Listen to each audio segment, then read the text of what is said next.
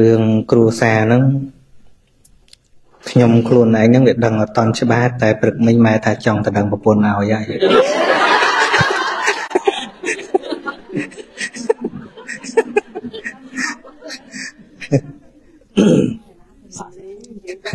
ខ្ញុំភ្ញាក់ដែរព្រឹកមិញ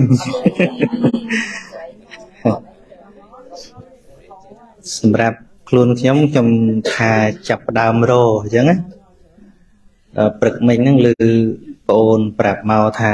ម៉ែថាអេសឹកហើយនៅទៅអីទៀតម៉ែថាចឹងចឹងសូមរងចាប់ភាពបន្ត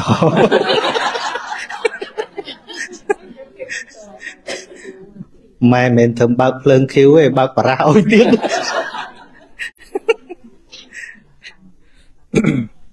បាទ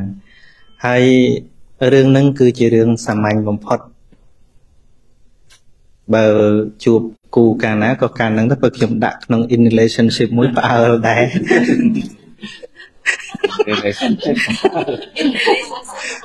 បាទ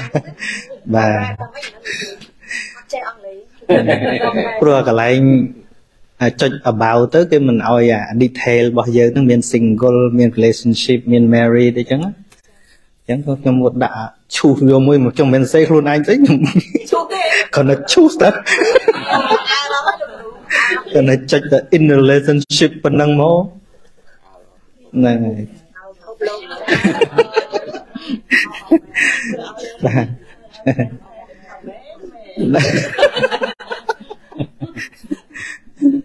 ខ្ញុំ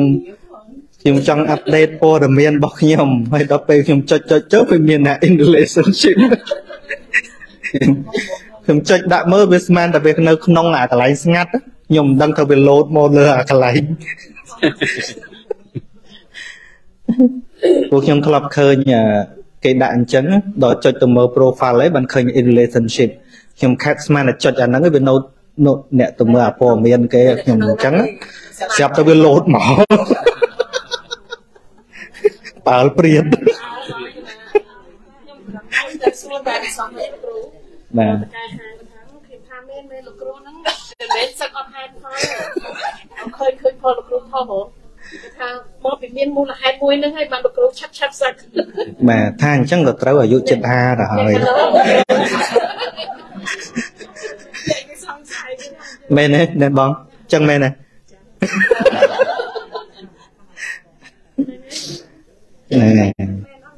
បាទបើសួរចិត្តខ្ញុំលើហ្នឹងខ្ញុំគិតដែរខ្ញុំចង់បានពុនដែរលើហ្នឹង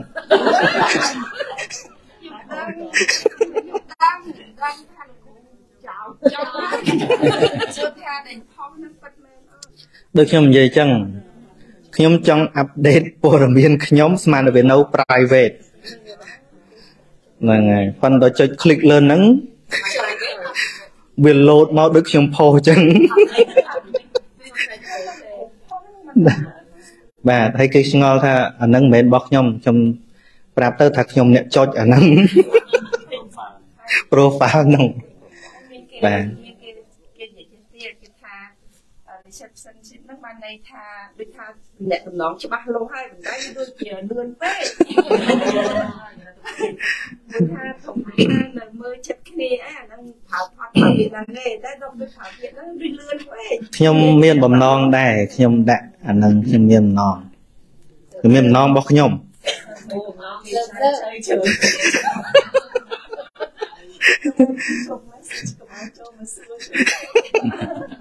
បាទចឹងរឿងហ្នឹងមានតែចាំមើលភាកបន្តឯងហ្នឹង ព្រោះពេលយប់ខ្ញុំដាក់ relationship បានតែមួយថ្ងៃស្អែកឡើងម៉ែថាតដឹងប្រពន្ធទៅនៅធ្វើអីទៀតកាលនៅលោកគាត់ខាត់តែលោកគាត់ឈប់ខាត់ហើយហ្នឹងគាត់ថែមទាំងប្រាប់ឲ្យឃើញណាគាត់តដឹងឲ្យអញ្ចឹងទៀតម៉ែល្អនោះ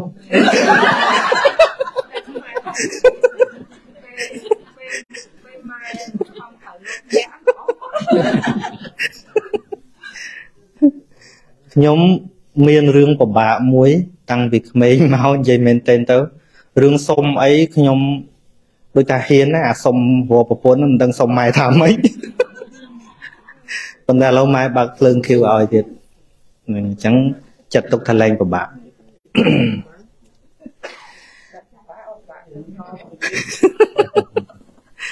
ឥឡូវវិលមកសំណួរលោកអ៊ំវិញដែលសួរពី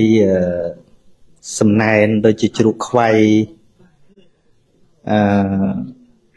ពេញយមណាជ្រូកខ្វៃបាទហើយសួរថាប្រកេនលោកបានឬអត់វាមានករណីប្រកេនបាននិងមិនគួរប្រកេនតែថាអត់ត្មងនោះគ្មានវិន័យណាហាមទេមួយគ្រាន់តែគួរប្រកេនមួយមិនគួរប្រកេនទេអញ្ចឹងណាតែថាវិន័យណាមកហាមថាកុំអោយប្រកេនមិនមានទេគ្រាន់តែមួយប្រកេនគួរមួយទៀតប្រកេនអត់សូវគួរ ដែលថាប្រកេនគួរនោះឧទាហរណ៍ថាពេលយើងរៀបសែនរៀបអីចឹង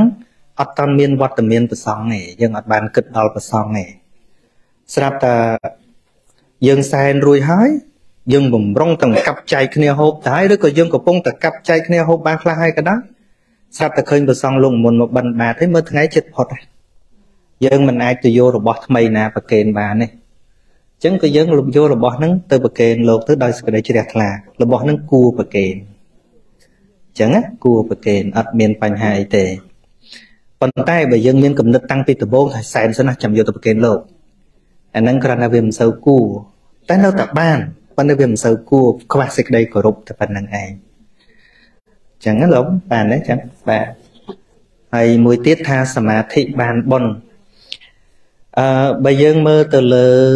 បញ្ញកិរិយាវត្ថុមាន10មានន័យថារបៀបសាងបុណ្យរបៀបបំពេញបុណ្យណានិយាយថា10ក៏បាននិយាយថា3ក៏បាន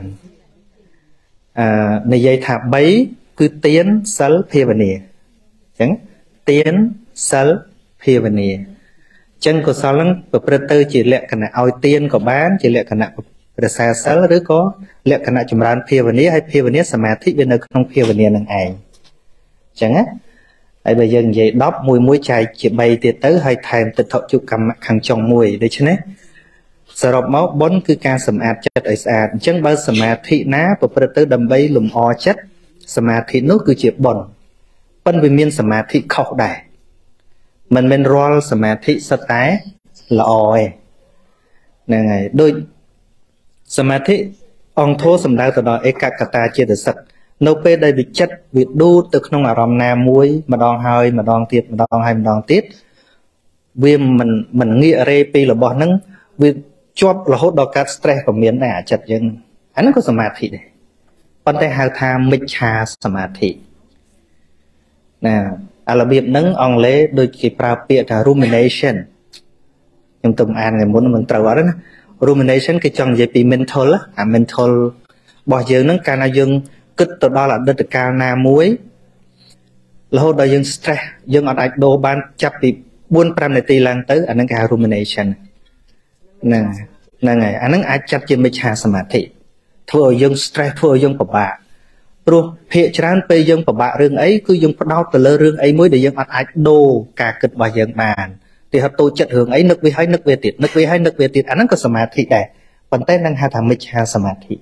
មិនបនទេ បាទប៉ុន្តែដូចជាយើងនមស្ការបរតនត្រ័យនឹកគុណពុទ្ធពធប្រសង់ឬក៏រលឹកទៅដល់សេចក្តីល្អណាមួយដែលយើងបានធ្វើនឹកហើយនឹកទៀតហើយនាំឲ្យចិត្តនឹងជ្រះថ្លានឹងក៏ជាសមាសមាធិដែលចម្រើនចិត្តកុសលកាន់តែច្រើនឡើងបាទមានបងប្អូនមានអីចង់សាកសួរទៀតទេបាទហើយចង់ចូលរួមឆ្លើយបញ្ចេញមតិ មិនមែនតែសាកសួរគេលោកមានមានមានទៀតទេបាទអឺចង់សាកសួរសំណួរឬក៏ចង់បញ្ចេញយោបល់បាទមានអីណាមីងសេដាបាទអញ្ជើញអញ្ជើញមកចឹងជើញដល់ណាបងណាហៅបងណាឲ្យខ្ញុំហៅបងណាអអញ្ចឹងបាទបាទ ខែតែនិយាយខែខែយាយបានមុនមុនហេមានអ្នកខាន់ហេទេចេះថាអ្នកខាន់អ្នកគេនៅថាដាក់ឲ្យចំចំហ្មងកុំទុកយូរមានអ្នកចុចពីក្រោយទៀតអឺដូចជារត់នឹកអត់ឃើញខ្ញុំវែងខ្លាំងហើយថ្ងៃនេះអឺ តាមពិតទៅនៅពេលដែលខ្ញុំឃើញអឺលោកបងដាក់ថា in relationship ហ្នឹងខ្ញុំភ្ញាក់ដែរខ្ញុំថៃឆាប់មកសំពីអាទិត្យសោះហ្នឹងថាមែនមែនរៀងភ្ញាក់ដែរក៏ប៉ុន្តែចិត្តគិតថា ដូចជាមិនអាចឆាប់អញ្ចឹងបានទេ so in the back of my mind ខ្ញុំចង់និយាយថាកំណត់មួយទៀតគិតថាអញ្ចឹងសង្ស័យតែមានគេចែកចៅច្រើនពេកធុញទៅក៏ដាក់អញ្ចឹងទៅដើម្បីបញ្ចុកកំដៅសង្ស័យចិត្តគិតអញ្ចឹងដែរហ្នឹងប៉ុន្តែដល់ពេលឥឡូវនេះមកលឺវាចាចេញមកដូចថាចុចច្រឡំ relationship ហ្នឹងបើខ្មែរនិយាយសំតែអឺ បានន័យថាអឺមានការដូចថាចងសម្ព័ន្ធមេត្រីភាពហ្នឹងថាមានចំណងមេត្រីភាពហើយបើនៅនៅនេះណាគឺគេនៅជាមួយគ្នាហើយបើតាមវប្បធម៌លោកខាងលិចលោកខាងលិចលោកខាងកើតអីទេ ជាតិសាសទាំងអស់ដែលមកនៅនេះតែគេថា in relationship គឺគឺគឺគេរួមរស់នៅជាមួយគ្នាហើយហើយខ្ញុំគិតថាអញ្ចេះអីក៏ឆាប់ម៉ែចុល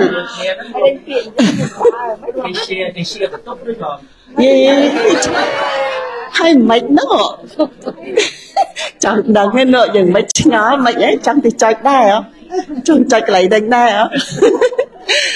ខ្ញុំគិតថាអញ្ចាចោះអ្នកបងលក្ខណៈខ្ញុំគិតមិនដែរ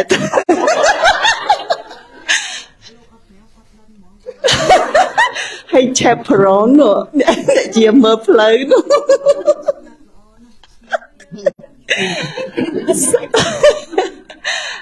លហើយច្បាស់ជាខ្ញុំគិតថាអាចប្រហែលជាដាក់គ្រាន់តែថាប្រឡប់ថាកុំឲ្យមានមនុស្សណាចុចមកសួរអីចឹងណា ចាសួរណែនាំឲ្យច្រើនពេកតំណង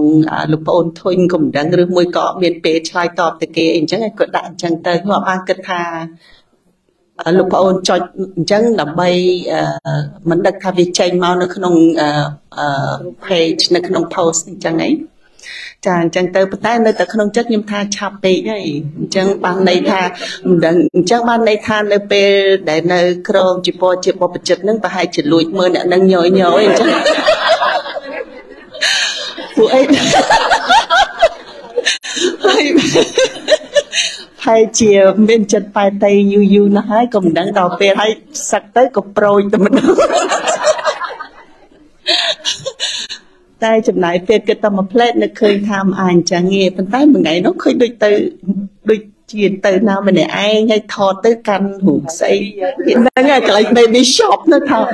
នេះដាក់ដល់ពេលយក2បូក2ដូចចេញ4មិនអាចចេញ5មើលទៅក្នុងហ្នឹងឆែកមើល profile ទៅថា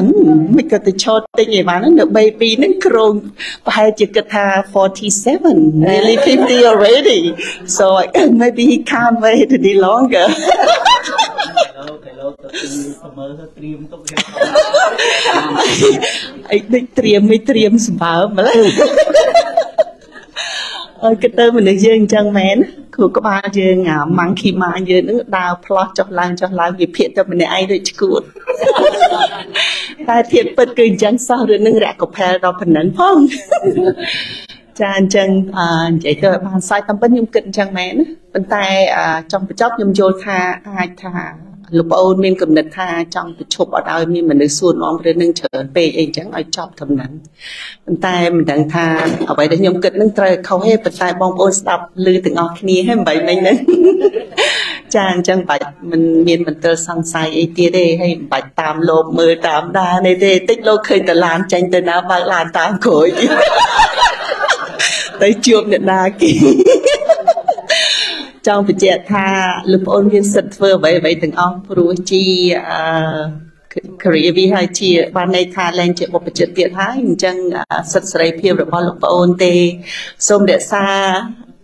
ឯកជនភាពជូនលោកប្អូនផងទៅឈប់តាមដានច្រើនពេក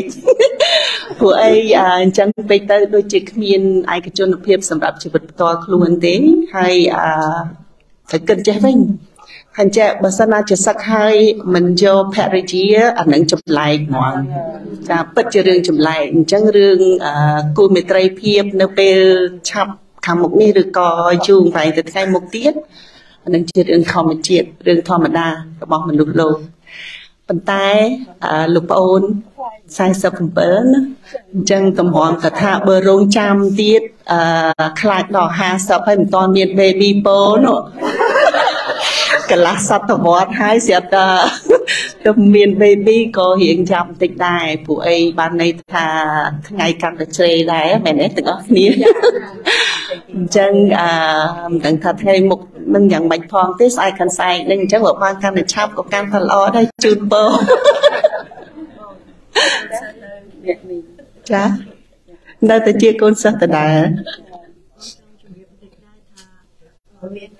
្រើន អើយចាចាចាតែសំខាន់អឺនៅតែចាប់អារម្មណ៍ចង់ដឹងថាលោកប្អូនមានផែនការអីតទៅមុខទៀតវាមានផែនការឆាប់ឆាប់ហ្នឹងមា នអីក្រងនឹងពេលឆាប់ឆាប់ហ្នឹងហើយពេលបន្ទាប់មកទៀតប្រហែលជារយៈពេលកន្លះឆ្នាំមួយឆ្នាំទៅមុខអីទៀតអញ្ចឹងណាអឺមិនចង់ដឹងលើសពីមួយឆ្នាំទេពីព្រោះថាកលៈទេសៈមិនអាចឲ្យយើងគិតដល់ផែនការវែងឆ្ងាយច្រើនពេកអញ្ចឹងចង់ដឹងថានៅពេលយើងហៅថា immediate plan អឺ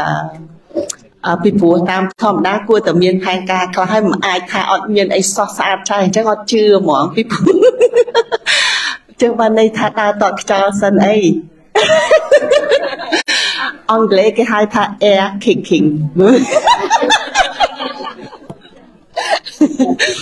literal translation ខ្មែរយើងថាដើរតខ្យល់ហ៎អញ្ចឹងខ្ញុំមិនដឹងបកប្រែមិនណាបងប្អូន air kicking អានេះខ្ញុំចេះមកពីអ្នកចម្រៀងម្នាក់គេថាបងអប៉ែមួយហ្នឹង air kicking ទៅរហូតខ្ញុំរៀនអង់គ្លេសពីគាត់ចាស្ដាប់ទៅទំនងរបស់គាត់មែនចាអញ្ចឹងទៅ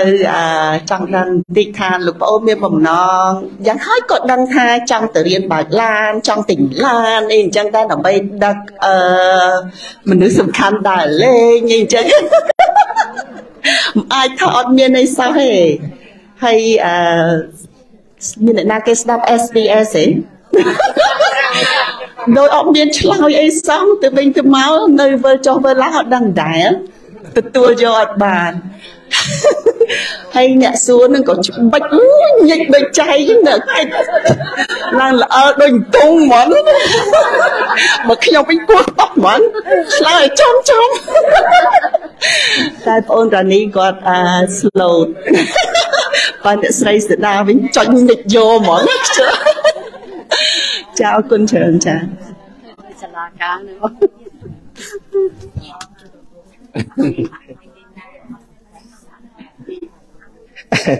ខ្ញុំគិតថាបើប្រាប់អស់ហើយបានអីតាមដានទៀត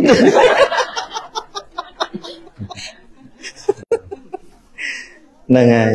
និយាយរួមទៅចាំសម្រេចត្មងទៅសូមរងចាំភាកបន្តបាទហ្នឹងវាសំខាន់យើង គាត់ដឹងទៅបានព្រៀមលុយទុកមុនប៉ុន្តែប្រសាសន៍អ៊ុំគាត់ថាមិញគាត់ថាខ្ញុំចាំថាសូមឲ្យលោកគ្រូបានកូនច្រើនដើម្បីបន្តពូជអ្នកប្រាជ្ញព្រោះអ្នកប្រាជ្ញពីមុនពីមុនមកចេះតែអត់មានកូនអញ្ចឹងសូមឲ្យលោកគ្រូផ្លែកពីគេមានកូនបានបន្តអឺ មានអីចង់សាកសួរចូលរួមបាទ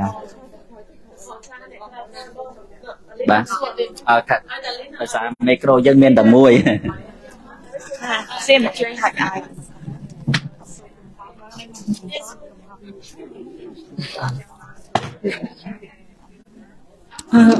យ សូមគោរពដល់អំពូមីងហើយនឹងបង ប្រុសស្រីដែលអញ្ជើញមកក្នុងកម្មវិធីបងផល្លាគូកំណើតហើយខ្ញុំបានទទួលព័ត៌មាននេះពីបងយេងអឺថ្ងៃនេះអឺខ្ញុំអត់ខ្ញុំអត់ដឹងថាខ្ញុំសួរទៅបងអឺទទួលបានអឺពេលខ្លះទៅខ្ញុំនិយាយទៅមានបញ្ហាអីសូមកុំប្រកែកប្រកាអឺ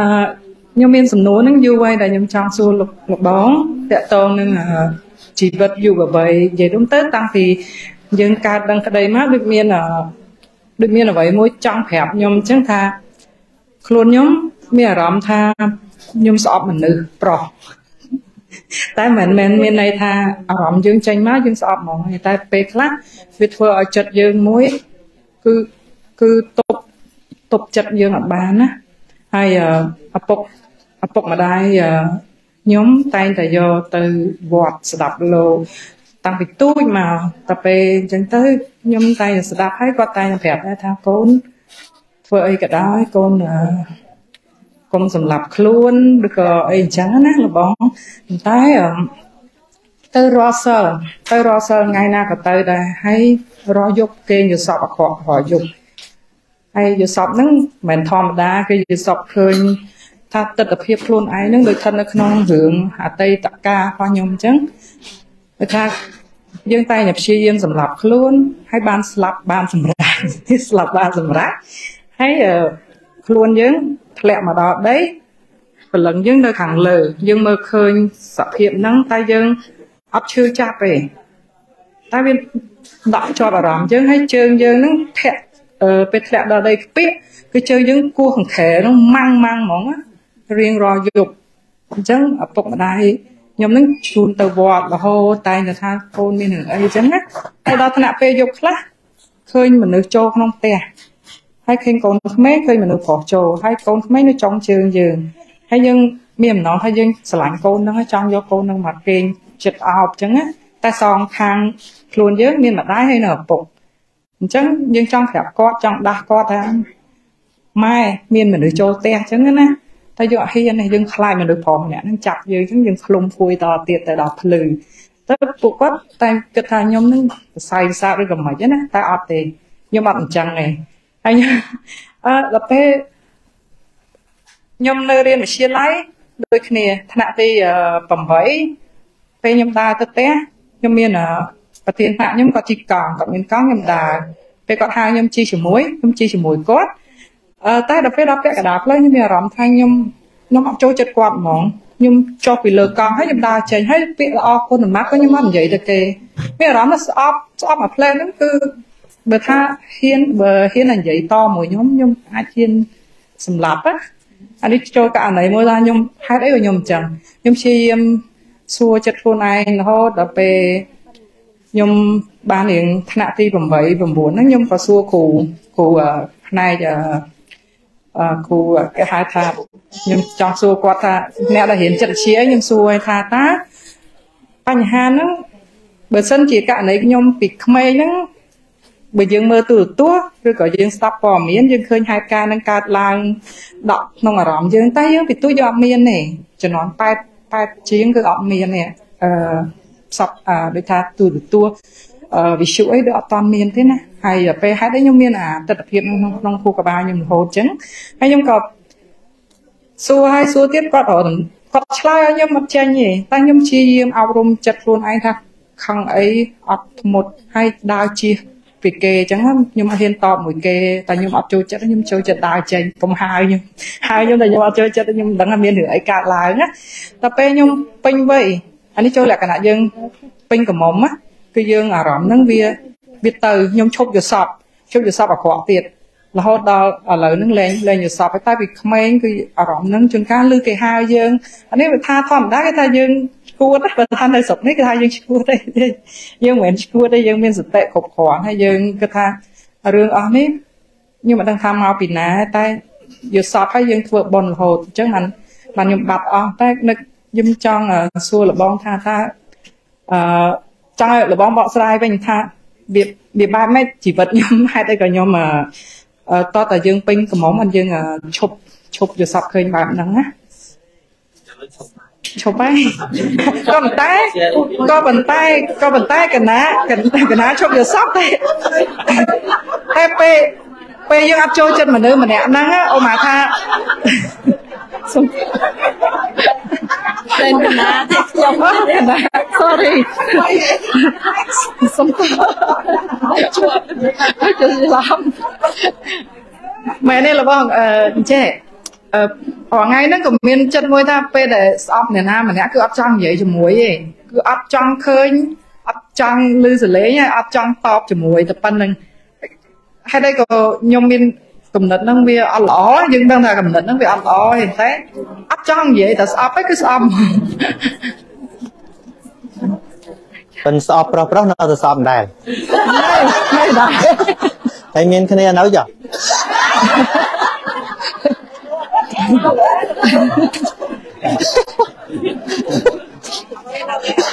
មានក៏ប៉ុន្តែយើងបែកគ្នាហើយយើងចង់រស់នៅឯកជនអញ្ចឹងជាមួយកូនព្រោះចិត្តយើងយើងពេលខ្លះយើងស្មានចិត្តយើងអត់ត្រូវដែរហ្នឹងពេលខ្លះទៅយើងយើងរស់នៅប្រែប្រួលអញ្ចឹងណាតែពេលនៅម្នាក់ឯងសប្បាយចិត្តជាងជាមួយកូនប៉ុន្តែតាំងពីក្មេងមកដែលចិត្តមួម៉ៅហ្នឹងច្រើនតែមួម៉ៅមួយតែប្រុសប្រុសអញ្ចឹងឯង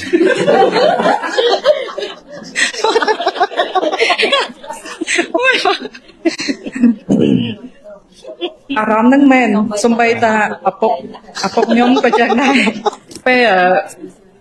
ពេលកាលនៅទូចហ្នឹងគាត់ហៅយើងធម្មតាក៏ប៉ុន្តែពេលអាអារម្មណ៍អាផ្លែតហ្នឹងសំបីតាឪពុកក៏យើងអាចអាចហ៊ានទៅធ្វើអីគាត់ដែរណាតែពេលដែលចិត្តយើងអញ្ចឹងគឺខ្ញុំដើរចេញឯងខ្ញុំអត់នៅក្បែរព្រោះខ្ញុំដឹងខ្លួនខ្ញុំខ្លាចខ្ញុំទុកអត់ជាប់តែឥឡូវ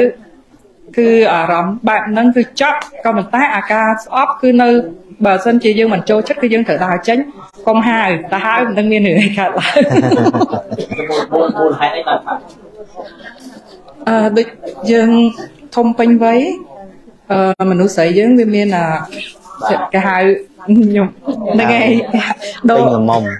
ចាដូរពេញវ័យណាអឺចាពេញរូបពេញរាងអញ្ចឹងធ្វើឲ្យយើង បាត់បាត់អាយល់សពហ្នឹងទៅ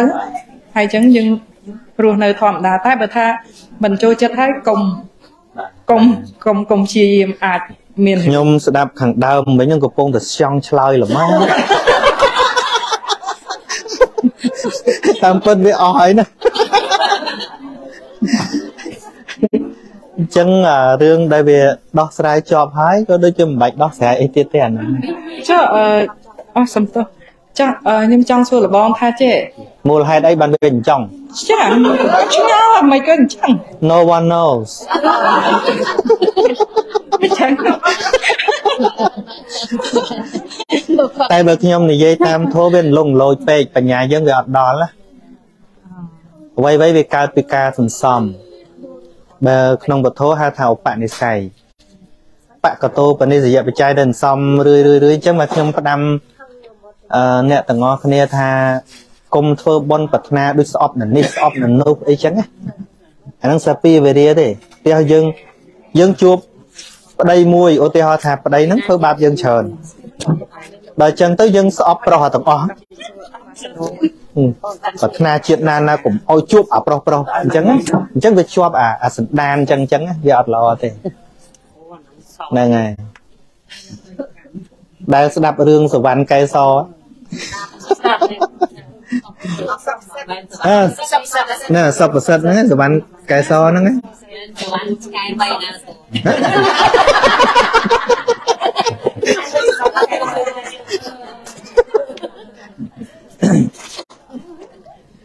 ចឹងអា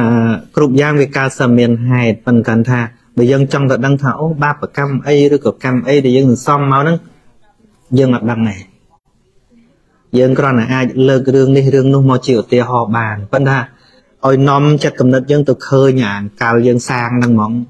អត់មានសមត្ថភាពទេប៉ុន្តែរឿងដែលល្អបំផុតអាចិត្តបែបហ្នឹងវាបាត់ហើយតាំងពីពេញកមុំមកនោះគឺចប់ហើយមានត្រូវបកស្រាយអីទៀត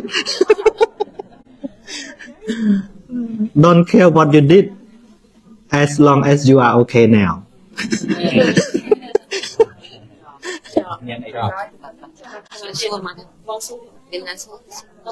Con chi.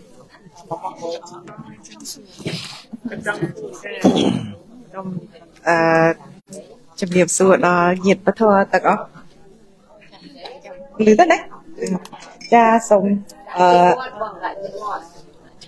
ជំរាបសួរជំរាបសួរបងប្អូនទាំងអស់គ្នាជាទីរាប់អានថ្ងៃនេះជាថ្ងៃបុណ្យខួបកំណើតបងប្អូនផល្លាដែលរាប់អានគ្នាជាមួយខ្ញុំ អឺជា10ឆ្នាំមកហើយចាថ្ងៃនេះមានវាសនាសម្មាននិស័យទាំងអស់គ្នាបានជួបគ្នាមើលស្អាតស្អាតដល់ទាំងតែចាប់អារម្មណ៍ជាងគេគឺលោកប្អូនម្ចាស់គ្រូចាឃើញលេចធ្លោជាងគេអឺថ្ងៃនេះអឺបងចង់សួរសំណួរលោកប្អូន មិនសំណួរទេហ្នឹងដូចជាសញ្ញាមួយសញ្ញាដូចសញ្ញាកងចាក់លោកប្អូនអឺសញ្ញាអឺអត់មានអីគូទៀតអូសញ្ញាកងចាក់អឺកងចាក់ដែលដែលវិលកាប់ទៅមុខរហូតហ៎ចាហ្នឹងហើយហ្នឹងអឺកាលនៅក្មេងខ្ញុំអត់ដឹងអត់ស្គាល់គាត់ថាអឺហ៊ីតលែរគាត់យកទៅប្រើដើម្បីអឺដឹកនាំទាហានតបធានរបស់គាត់ហ៎ដើម្បីឲ្យថា ប្រទេសគាត់ហ្នឹងត្រូវទៅទៅមុខរហូតចាហើយខ្ញុំអត់ដឹងទេដល់ពេលទំប្រហែលខែនេះកូនស្រី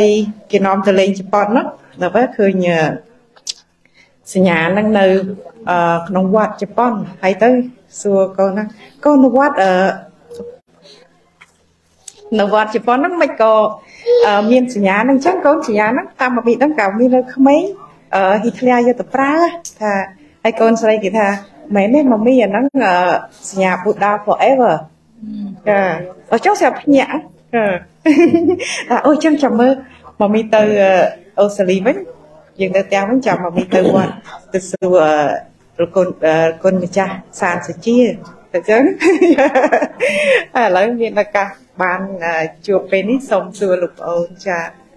អត់ឲ្យបានដឹងសោះតាំងពីនៅស្រុកខ្មែរញាតិសដានខ្ញុំបានស្គាល់ថាសញ្ញាហ្នឹងជាសញ្ញារបស់ពុទ្ធដែរចាអរគុណអូនចាអរលោកអូនមិនគឺអត់ស៊ីឆ្លើយលោកគ្រូអឺលោកគ្រូអត់ទីចឹងមិនលឺលោកគ្រូកងចាក់ហ្នឹងវាមាន4កម្មក៏មាន មាន8កម្មក៏មាន មាន12កម្មក៏មានបាទ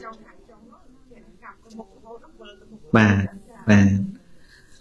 បើគេធ្វើ4កម្មតំណាង2យ៉ាងមួយយ៉ាងតំណាងពីអរិយសច្ចធម៌4អញ្ចឹងណាដូចជាទុក្ខសច្ចៈវាវិលទៅរកអឺសមុទយៈហ្នឹងវាវិលទៅរកទុក្ខមានន័យថាតណ្ហាវាវិលទៅរកទុក្ខ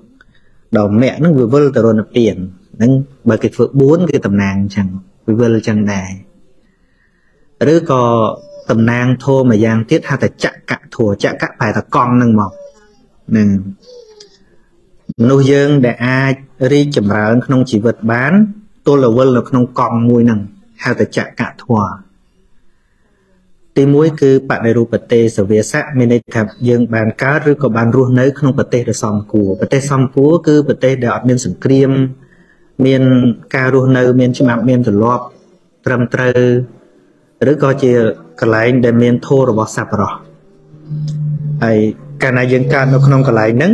វាធ្វើឲ្យយើងវិលទៅរកសត្វរស់ណាសត្វបរិសោប្រសានសេវៈហ្នឹងហើយកាលណាយើងវិលទៅរកសត្វបរោះបានខ្សែគប់នឹងសត្វបរោះប្រកាសជាបានស្ដាប់ប្រកាសជាបានរៀនរៀនហើយវាវិលទៅរកអត្តសមាបនិធិគឺការតម្កល់ខ្លួនត្រូវមានន័យថា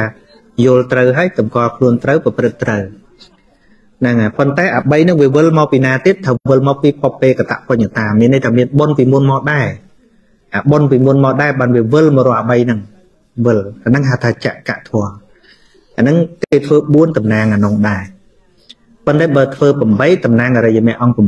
8អរិយមគ្គអង្គ8ប្រើថាផ្លូវដល់ប្រសើរមានអង្គ8ផ្លូវតែមួយឯងប៉ុន្តែមានអង្គ8ដូចកង់តែមួយមានកម្ម8អញ្ចឹងណាបាទទី1គឺសមាទិដ្ឋិ យល់ត្រូវសមាសង្កបៈត្រេះរិះត្រូវសមាវាចាសម្ដីត្រូវសមាកម្មន្តៈការងារត្រូវសមាអាជីវៈចិញ្ចឹមជីវិតត្រូវសមាវេយាមៈព្យាយាមត្រូវសមាសតិរលឹកត្រូវសមាសមាធិការតម្កល់ចិត្តឲ្យនឹងត្រូវអញ្ចឹងនៅក្នុងពិភពលោកកាលណាគេធ្វើកម្ម8ហ្នឹងគឺជាសញ្ញារបស់ Buddhism ជាសញ្ញារបស់ពុទ្ធសាសនាអចឹងទៅប្រទេសណាក៏ដោយឲ្យតែឃើញកម្ម8ហ្នឹងគឺគឺអឺ តំណាងអរិយមេអង្គ8តំណាងឲ្យពុទ្ធសាសនាបាទបាទបាទបើគេធ្វើកម្ម12គឺតំណាងបដិច្ចសមុបាទក្នុងន័យពធផ្សេង ដែលអវិជ្ជាវាវិលទៅរសង្ខាសង្ខានវិលទៅរអីចឹងណារហូតដល់ជាតិដល់កំណើតចឹងទៅហ្នឹងគេធ្វើកម្ម12ប៉ុន្តែបើបើតំណាងឲ្យពុទ្ធសាសនាគឺ8ហ្នឹងមកបាទ បាទបាទមានមានអីចង់ចូលរួមឬក៏សាកសួរអីបាទឲ្យខាងក្រោយហ៎បាទហ្នឹងចេញចេញ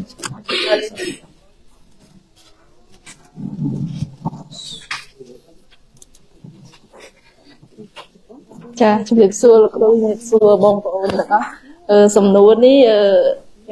ចង់សួរលោកគ្រូយូរតាំងពីកនសឹក កនសឹកតែអត់មានឱកាសគិតថាមកទៅទៀតទៅហើយដល់ពេលលោកសឹកមកចាសំណួរនេះអឺក្នុងខ្ញុំឆ្ងល់ខ្លួនឯងឯងមិនគិតថាខ្លាចសួរទៅប៉ះពាល់គេយល់ថាយើងយល់យ៉ាងម៉េចគាត់ថានេះជាចម្ងល់របស់ខ្ញុំផ្ទាល់ដូចជា ខ្ញុំឃើញគេដង្ហែសរីរកធាតុអញ្ចឹងយើងក្នុងស្រុកខ្មែរយើង មានគ្រប់វត្តដូចថាភិកច្រើនគ្រប់ទីវត្តអារាមនៅឥណ្ឌាក៏មាននៅយើងក៏មានអញ្ចឹងខ្ញុំឆ្ងល់ថាសរីរកធាតុហ្នឹងអាចចែករំលែកបានមកដល់សពថ្ងៃហ្នឹងគ្រប់គ្រប់កន្លែងគ្រប់វត្តហ្នឹងវានៅសល់ដែរព្រោះវា2000វាយូរឆ្នាំជាង2000ឆ្នាំអីចឹងគ្រូចាឲ្យសំណួរមួយទៀតជាសំណួររបស់ មិត្តភ័ក្តិនៅស្រុកខ្មែរគាត់ផ្ដាំឲ្យសួរគាត់តាមដានលោកគ្រូគាត់តាមតាំងថា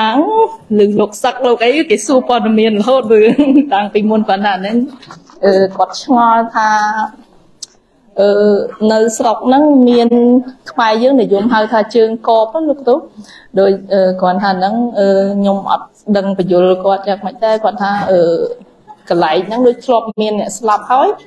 វាមានហេតុហ្នឹងកើតឡើងចេះបន្តបន្តដូចថារាល់ឆ្នាំហ្នឹងគឺកន្លែងហ្នឹងត្រូវតែមានអ្នកហ្នឹងស្លាប់រហូតយ៉ាងគាត់សួរថាតើជើងកបហ្នឹងវាមានមែនឬក៏យ៉ាងម៉េចអីអញ្ចឹងគ្រូចាសូមអរគុណសូមអរគុណខ្ញុំនិយាយមិនបាច់មីក្រូលឺអីប៉ុណ្ណឹងអត់លឺលឺអញ្ចឹងមិនបាច់ហុចចុះឡើងខ្ញុំនិយាយប៉ុណ្ណឹងលឺអីលឺលឺដល់នោះហ៎អត់ដល់ដល់ បាទយកទៅចាអត់ទេអត់អូខេអញ្ចឹងក៏បានហ្នឹងអឺឲ្យខ្ញុំច្បាស់យ៉ាងណាពីសរីរកធាតុនោះវាអត់ច្បាស់ទេព្រោះខ្វះអីពិសោធន៍បាទប៉ុន្តែបើនិយាយពីការតម្កល់ទុក នៅក្នុងពុទ្ធសាសនានឹងមានវត្ថុ5ដែលជាទីគោរពបូជាណាក្រៅនៅក្នុង5ហ្នឹងមានអឺបដិមានេះមួយបដិមាគឺរូបតំណាងព្រះអង្គហើយពោធិរុក្ខាគឺពោធិព្រឹកគឺដើមឈើដែលព្រះអង្គត្រាស់ដឹងបដិមាពោធិរុក្ខាហើយមួយទៀតអាធាតហ្នឹងព្រះសរីរកធាតហ្នឹង ណាព្រះសរីរកធាតហ្នឹងព្រះអង្គបដិស្ថានទុករហូតអស់5000ព្រះវស្សាបានបានត្រូវទេជោធាតហ្នឹងឆេះរំលែងលែងឲ្យសល់ហ្នឹងហើយអញ្ចឹងបើតាមហ្នឹងខ្ញុំនិយាយតាមអញ្ចឹងតែឲ្យដឹងថាពិតឬមិនពិតខ្ញុំអត់ដឹងទេបាទហើយមួយទៀតគឺប្រស្ដោបប្រស្ដោបគឺ ដូចយើងធ្វើជាបច្ចេកដីទោះបីអត់មានព្រះសរីរកធាតុឬក៏មិនក៏ដោយប៉ុន្តែយើងធ្វើកសាងជាពំនុកខ្សាច់ឬក៏ជាកូនចេតដីឬក៏ស្អីតំណាងគោរពព្រះអង្គហ្នឹងអាហ្នឹងក៏ជាជាទីគោរពសក្ការៈដែរហើយមួយទៀតពធ84000បឋមខណ្ឌដែលជាការបង្រៀនរបស់ព្រះអង្គហ្នឹងក៏ជាចេតដីមួយដែរហៅថាធម្មចេតដីបាទចឹងខ្ញុំឆ្លើយបានអញ្ចឹងឯងប៉ុន្តែសួរថាពិតឬមិនពិត អត់ដឹងទេបាទហើយមួយទៀតជើងកបជើងកបខ្ញុំគិតថាវាគ្រាន់តែជាជំនឿរបស់យើងប៉ុន្តែពិតអ្វីដែលនាំឲ្យស្លាប់ហ្នឹងវាមានហេតុរបស់វាទូយ៉ាងដូចជាខ្ញុំនៅស្រុកកំណើតរបស់ខ្ញុំនោះស្រុកបូរីជលសាខេត្តតាកែវស្រុកហ្នឹងកន្លះឆ្នាំទឹកកន្លះឆ្នាំគោក ពេលដែលខែវស្សាទឹកជុំវិញដូចសមុទ្រចឹងហើយនៅខាងកើតភូមិហ្នឹងមានទលេដៃទលេមួយមកនិយាយរួមអ្នកស្រុកខ្ញុំហ្នឹងមិនងាយមាននរណាស្លាប់ដោយសារទឹកទេអ្នកស្រុកបឹងប៉ុន្តែមិនងាយមានអ្នកស្លាប់ដោយសារឆ្លងទលេហ្នឹងណាហើយកន្លែងគេហៅចិត្តកំពង់7កន្លែងហ្នឹងគេហៅថាជើងកបពិនសួរថាជើងកបស្លាប់ស្លាប់នរណាគេ គឺស្លាប់អ្នកស្រុកលើដែលមិនដែលចេះហៅទឹកគាត់មិនដែលដឹងជើងខ្យល់គាត់មិនចេះជិះទូកហើយដល់គាត់មកគាត់ឆ្លងទៅក៏អត់ចេះដល់ចេះទៅលិចលងស្លាប់តញយតែអញ្ចឹងក៏វាល្បីថាជើងកបជើងកបប៉ុន្តែបើវាប្រកាសទៅជើងកបទៅអ្នកស្រុកនឹងគេឆ្លងទៅរហូតមិញមិញបញ្ហាគឺដឹងអាសញ្ញាបត្រដឹងនឹងសំខាន់ណាស់ អហើយដូចខ្ញុំធ្លាប់និយាយចឹងថាអឺដូចផ្លូវនៅនៅខេត្តតកៅហ្នឹងមានកន្លែងមួយហៅថាអូចំបក់អូចំបក់ហ្នឹងផ្លូវវាវារៀងកាច់កាច់ខ្លាំងហើយអាសាបុកគ្នាស្លាប់ទៅហ្នឹងដល់ចឹងទៅចេះតែនាំគ្នាជឿថាជើងកបដល់ខ្ញុំមើលខ្ញុំថាវាអត់ត្រូវតាមបច្ចេកទេសគ្រប់គ្រាន់នៅឡើយហើយរួមផ្សំនឹងការបើកបរខ្វះការប្រយ័ត្នផងក៏វាទៅស្លាប់តែកន្លែងហ្នឹង ហ្នឹងអញ្ចឹងទៅក៏ខ្លាយជាជើងជើងកបហ្នឹងហើយបន្តអូស្ត្រាលីនេះយើងមិនដែលលើកល្បីអាណាជើងកបតាណាផងបើកន្លែងណាគ្រោះថ្នាក់ច្រើនគេមើលផ្លូវនឹងកោងពេកឬក៏វាមើលអត់ឃើញអញ្ចឹងគេត្រូវកែសម្រួលមិនអញ្ចឹងមិនក៏ទៅកន្លែងលែងកបថាមកពីវាអស់ហេតុដែលនាំឲ្យកបអញ្ចឹងអាជើងកបដែលយើងនិយាយយើងគិតថាហាក់ដូចជា មានពលឹងមានស្អីធ្វើឲ្យយើងស្លាប់អញ្ចឹងតែនេះគឺជាជំនឿប៉ុណ្ណោះហ្នឹងហើយស្អីស្អីដែលព្រះអង្គសម្ដែងមកថាគ្រប់យ៉ាងកើតពីហេតុបើសិនជាវាកាច់ខ្លាំងអញ្ចឹងវាបុកច្រើនសាកធ្វើផ្លូវរំលងគ្នាអីអញ្ចេះមកឡើងប៉ះគ្នាណាគេគេត្រូវមើលលើបច្ចេកទេសនឹងអូស្ត្រាលីនេះអត់ចេះនិយាយធោះកើតពីហេតុទេ តែគេទៅមើលអាហេតុមែនតើរំមិនបានបុកគ្នាញឹកកន្លែងហ្នឹងអាហ្នឹងឯងគេអត់ខ្លាយអាធោះកើតពីហេតុទេតែព្រះសម្មាសម្ពុទ្ធព្រះអង្គសម្ដែងថាហេតុបពវាអញ្ចឹងណាយេធម្មេហេតុបពវាថាធោះទាំងឡាយកើតទល់តែមានហេតុហេតុគ្រប់កើតអញ្ចឹងបើចង់ដូរផលត្រូវដូរហេតុច្បាស់ហើយព្រះអង្គសម្ដែងច្បាស់ហើយ ហ្នឹងហើយបើកន្លែងហ្នឹងវាបុកគ្នាញឹកទៅមើលទៅមូលហេតុថាតើវាចាំងភ្នែកពេកឬក៏ផ្លូវវាបកោងពេកហ្នឹងហើយឬក៏ត្រូវដាក់សញ្ញាយ៉ាងម៉េចឲ្យប្រយ័ត្នយ៉ាងម៉េចធ្វើធ្វើអាលាក់លាក់ឲ្យយើងដឹងថាកន្លែងហ្នឹងផ្លូវកោងអាហ្នឹងវាជាមូលហេតុរបស់វាបាទអញ្ចឹងជើងកប់វានៅក្នុងជំនឿប៉ុន្តែសម្រាប់ខ្ញុំខ្ញុំគិតថាអឺវាមានហេតុរបស់វាជាក់លាក់ណាស់ ដែលដែលកន្លែងហ្នឹងវាចេះតែនាំឲ្យស្លាប់ហ្នឹងគឺមានហេតុជាក់លាក់ណាស់ដូចខ្ញុំលើកកន្លែងទឹកលងទឹកអញ្ចឹងណាទី1អ្នកអត់ចេះហែលទឹកមកពីស្រុកលើ ទី2អត់ចេះជិះទូកទូកមិនមែនចេះតែជិះកើតទេណាអាទូកតូចតូចហ្នឹងអ្នកអត់ចេះជិះទូកជិះទូលិចមកដូចខ្ញុំនៅនោះអ៊ំទូកខ្វៀលទានេះទូកថ្នោតនៅសល់ប៉ុណ្ណេះខ្ញុំជិះឈរខ្ញុំអ៊ំឲ្យខ្ញុំយកទៀតអត់ដួអត់លិចទេហ្នឹងហើយ ប៉ុន្តែដល់ពេលខ្ញុំឈប់ជិះយូរប្រហែលជា6 7ឆ្នាំមកខ្ញុំទៅជិះខ្ញុំគិតថាខ្ញុំនៅចាស់មានអីជិះតែពីរអង្គលិចឈុលនៅសល់ប្រហែលមកផ្ទះទៀតហ្នឹងហើយនៅតែលិចពួកយើងរញីញញ័រអញ្ចឹងវាមានហេតុរបស់វាអញ្ចឹងចូលនៅក្នុងធម៌ព្រះអង្គទៀតថាអសច្ឆាយមលាមន្តាមុនកាលណាមិនស្វាត់ជាយវាមានមន្ទិលឯស្អីក៏ដោយកុំគិតតែខ្លួនឯងធ្លាប់ប្រកែ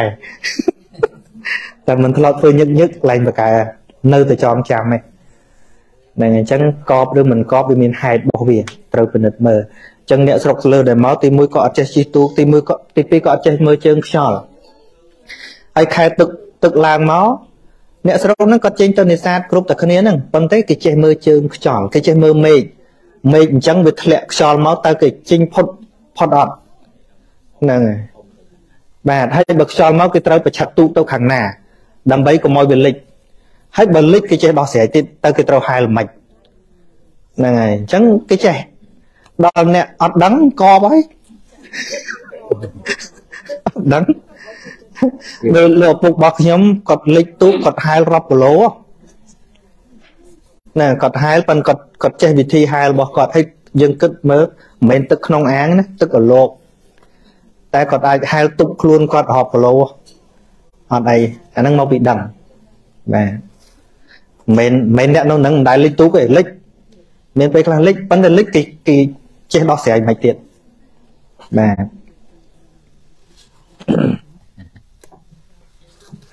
បាទហើយមានបងប្អូនចង់សាកសួរឬក៏ចង់ចូលរួមមតិអីបាទបាទមានទេមានអីថែមទៀតទេបាទហើយអត់ហ្នឹងហើយចាំហើយសិនបាទ អរគុណ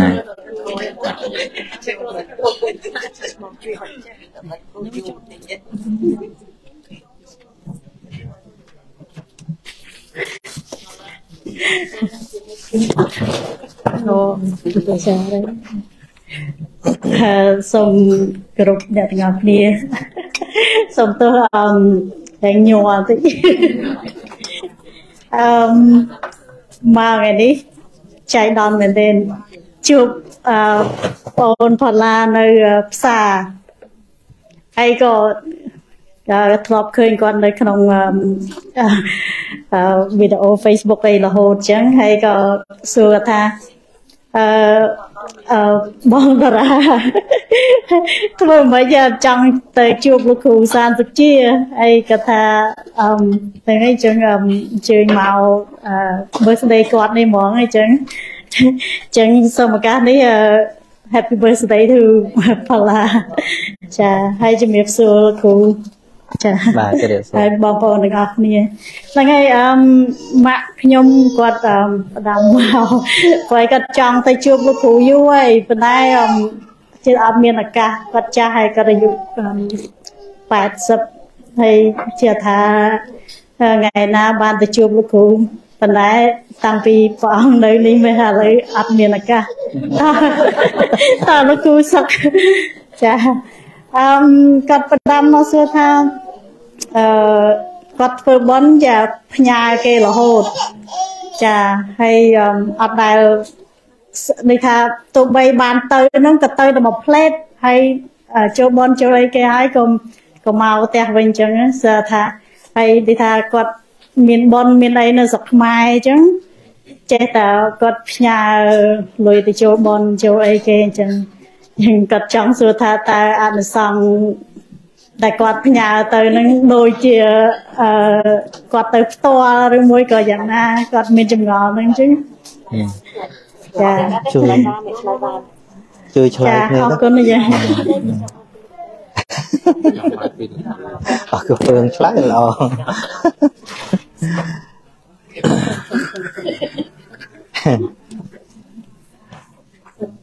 បាទ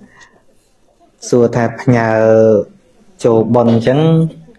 បានដូចទៅផ្ទាល់ល្អអត់អញ្ចឹងឯងអត់ដូចទេអត់ដូចទេតែប៉ុនផ្សេងគ្នាពោទៅផ្ទាល់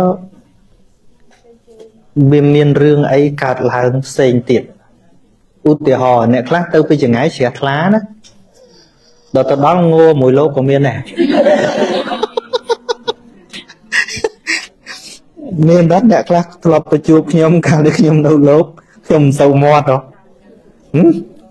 ឮតាមកសែតមើលលហេកលហាចណាស់ដល់ឯងមកជួបទៅមើលមើលមើលមើលក៏មានជ្រះថ្លាយណាអានោះទៅផ្ទាល់ហ្នឹងអញ្ចឹងវាវាឲ្យដូចហ្មងអត់ដូចទេ ប៉ុន្តែបើសិនជាទៅដល់គាត់ជ្រះថ្លាជួនកាលគាត់អាចបានស្ដាប់ធัวទៀតហ្នឹងលើហាត់នឹងទៀតឃើញទេទៀនគាត់ធ្វើហើយអាចនឹងបានស្ដាប់ធัวទៀតឬគាត់អាចមើលឃើញត្នេះត្នោះអីគាត់ជ្រះថ្លាឃើញប្រសងរៀនសូត្រអីគាត់ជ្រះថ្លាផ្សេងទៀតមិនត្រឹមតែរឿងទៀនប៉ុណ្ណឹងឯងពេលទៅដល់ណា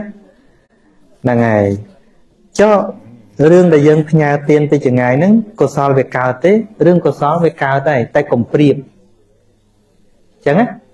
កុំព្រៀបព្រៀបតែប៉ុណ្ណេះយើងស្រឡាញ់មនុស្សម្នាក់មួយទេទូរស័ព្ទអាឡូអូននៅណាពីចងាយមួយទៀតទៅទូកជួបផ្ទាល់ដូចគ្នាអត់នេះក៏បានអោប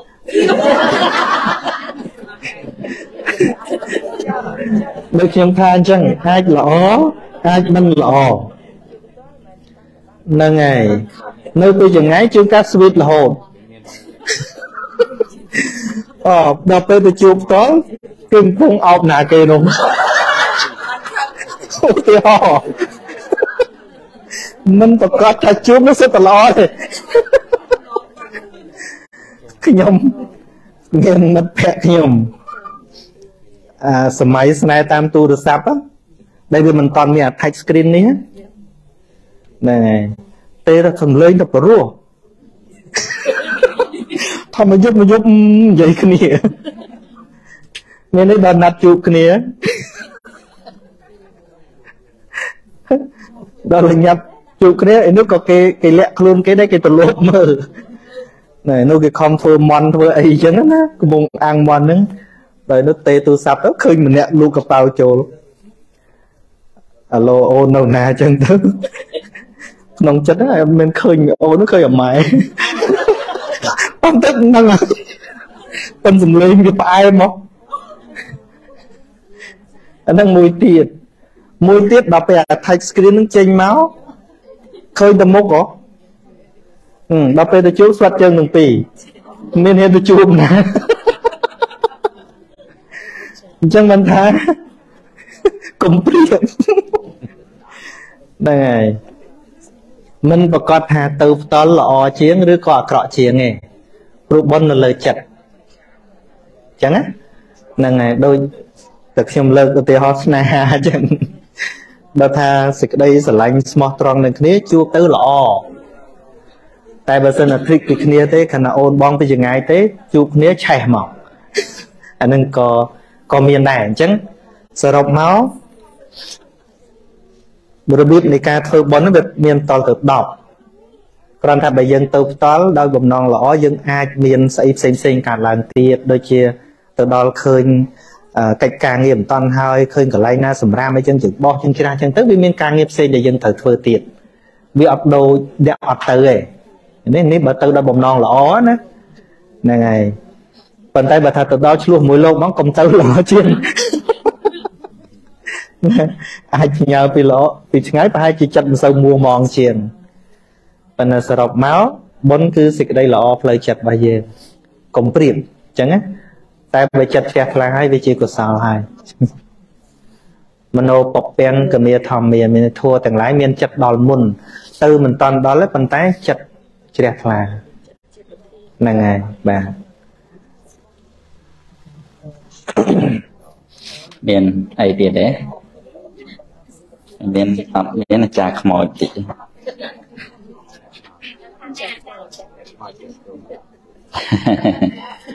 អឺសុំទៀតណាតើ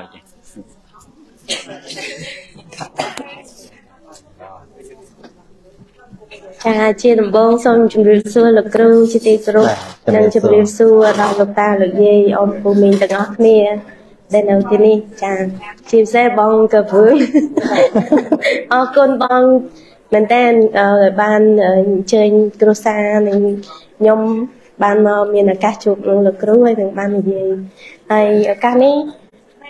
ចង់មកសុំទៀមទាពរពីលោកគ្រូហើយក៏សូមនិយាយអឺប្រាប់លោកគ្រូដែរកាលប្រហែលថ្ងៃមុននេះកាលថ្ងៃពុធយប់ថ្ងៃពុធអឺ ខ្ញុំសង្ឃឹមថាលោកគ្រូបានឃើញសារខ្ញុំនៅក្នុង Facebook ដូចគ្នាឃើញឃើញហើយអឺកាលពេលយប់ខ្ញុំយល់សោកឃើញលោកគ្រូមុននឹងយល់សោកឃើញលោកគ្រូមុននឹងគេងគឺខ្ញុំស្ដាប់ធម៌លោកគ្រូពេញមួយយប់អញ្ចឹងម៉ោង7:01បានខ្ញុំបានគេងអញ្ចឹងសាច់ធរនឹងមុខលោកគ្រូខ្ញុំចាំច្បាស់ហ្មង ហើយសុំទោសប្តីដែរប្រហែលឆ្នាំ5ឆ្នាំកាលមួយគ្នាអត់ដែរយល់សោកឃើញប្តីសោះដែរមកឃើញឃើញមុខលោកគ្រូនឹងហ្មងនោះប្តី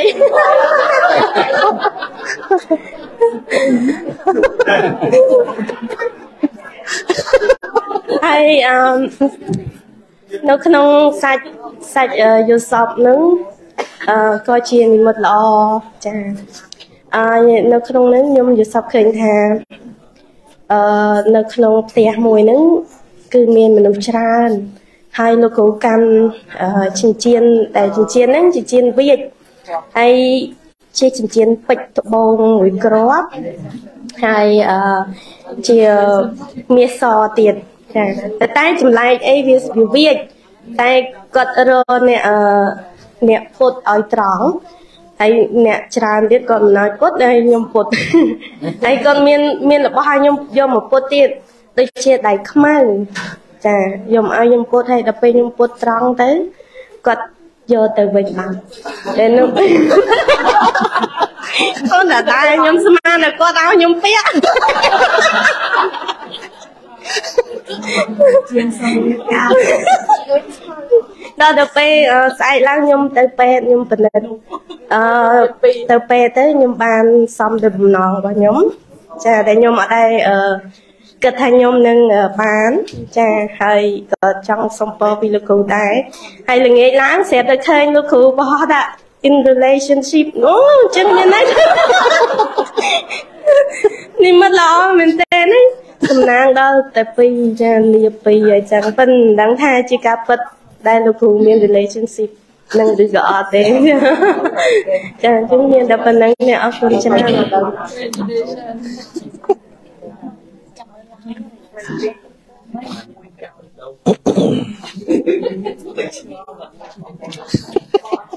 ន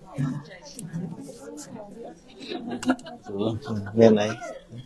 អឺមុននឹងជូនដល់លោកគ្រូខ្ញុំសូមលោកគ្រូបានឆ្លើយមកបងស្រីដែលសាកសួរពីការធ្វើបុណ្យចិត្តនិងបុណ្យពីនេះទៅណាបុណ្យផ្ទាល់និងបុណ្យដោយប្រយោលអឺបើយើងនិយាយពាក្យថាបុណ្យបើចិត្តជ្រះថ្លាបានដូចគ្នាដូចគ្រូមានប្រសាសន៍អញ្ចឹង ខ្ញុំលើកជាឧទាហរណ៍ថា មួយយើងឲ្យលុយដោយផ្ទាល់ហើយមួយទៀតយើងផ្ញើតាមពីធនាគារពីនេះទៅបើយើងបើកលុយឲ្យដោយផ្ទាល់បានទេបានទេបានហើយចុះបើសិនជាយើងអត់បានធ្វើដំណើរទៅទេប៉ុន្តែយើងផ្ញើតាមធនាគារទៅគេបើកបានទេបានបានទេ បានដូច្នេះដូច្នេះបុណ្យកុសលក៏ដូចគ្នាដែរអាស្រ័យលើផ្លូវចិត្តរបស់យើងបាទឲ្យតែចិត្តរបស់យើងជ្រះថ្លាហ្នឹងកុសលកើតឡើងហើយប៉ុន្តែវាអាស្រ័យលើកម្រិតដូចលោកគ្រូមានប្រសាសន៍អញ្ចឹងគឺពេលខ្លះនៅពេលដែលយើងទៅដល់កន្លែងដែលធ្វើទៀតហ្នឹងយើងមានសេចក្តីជ្រះថ្លាបន្ថែមទៀតយើងអាចស្ដាប់ធម៌យើងអាចថ្វាយអង្គមព្រះអីចឹងទៅ សេចក្តីជ្រះថ្លារបស់យើងនឹងក៏បន្ថែមលើសពីអ្វីដែលយើងបានធ្វើទៀនប៉ុន្តែបើយើងនិយាយចំពោះទៅទៀនដែលយើងធ្វើតែម្ដងឲ្យតែចិត្តជ្រះថ្លាបានដូចនេះបាទដោយហេតុតែនេះមើលឃើញឃើញដោយហេតុតែអឺអ្នកខ្លះគាត់គាត់គិតថាដល់តែធ្វើដោយផ្ទាល់បានបានប៉ុនណាជួនកាលក៏អត់ចង់ធ្វើពីចងាយចុះបើដាច់ខ្យល់ស្លាប់បាត់ទៅមែនណា ពីព្រោះពេលវេលារបស់យើងវាមិនច្រើនទេខ្ញុំធ្លាប់លើកច្រើនដងច្រើនសារសម្រាប់ការបកស្រាយរបស់ខ្ញុំយើងមិនមាន50 2ឬក៏3ដងទេជីវិតរបស់យើងណាហើយឱកាសហ្នឹងវាងាយនឹងបាត់បង់ទៅវិញដូចបងប្អូនខ្លះថាចង់ជួបលោកគ្រូកាលនៅជាប្រសង់អញ្ចឹងណាអឺឃើញទេអញ្ចឹងបាន ព្រះបរមគ្រូព្រះអង្គអត់ឲ្យប្រមាទទេត្រូវតែរស់រាន់ត្រូវតែប្រញាប់ពីព្រោះពេលវេលាមិនអំណោយផលសម្រាប់យើងទេអញ្ចឹងណាហ្នឹងហើយហើយដូចគ្រូដល់រស់រាន់ដែរ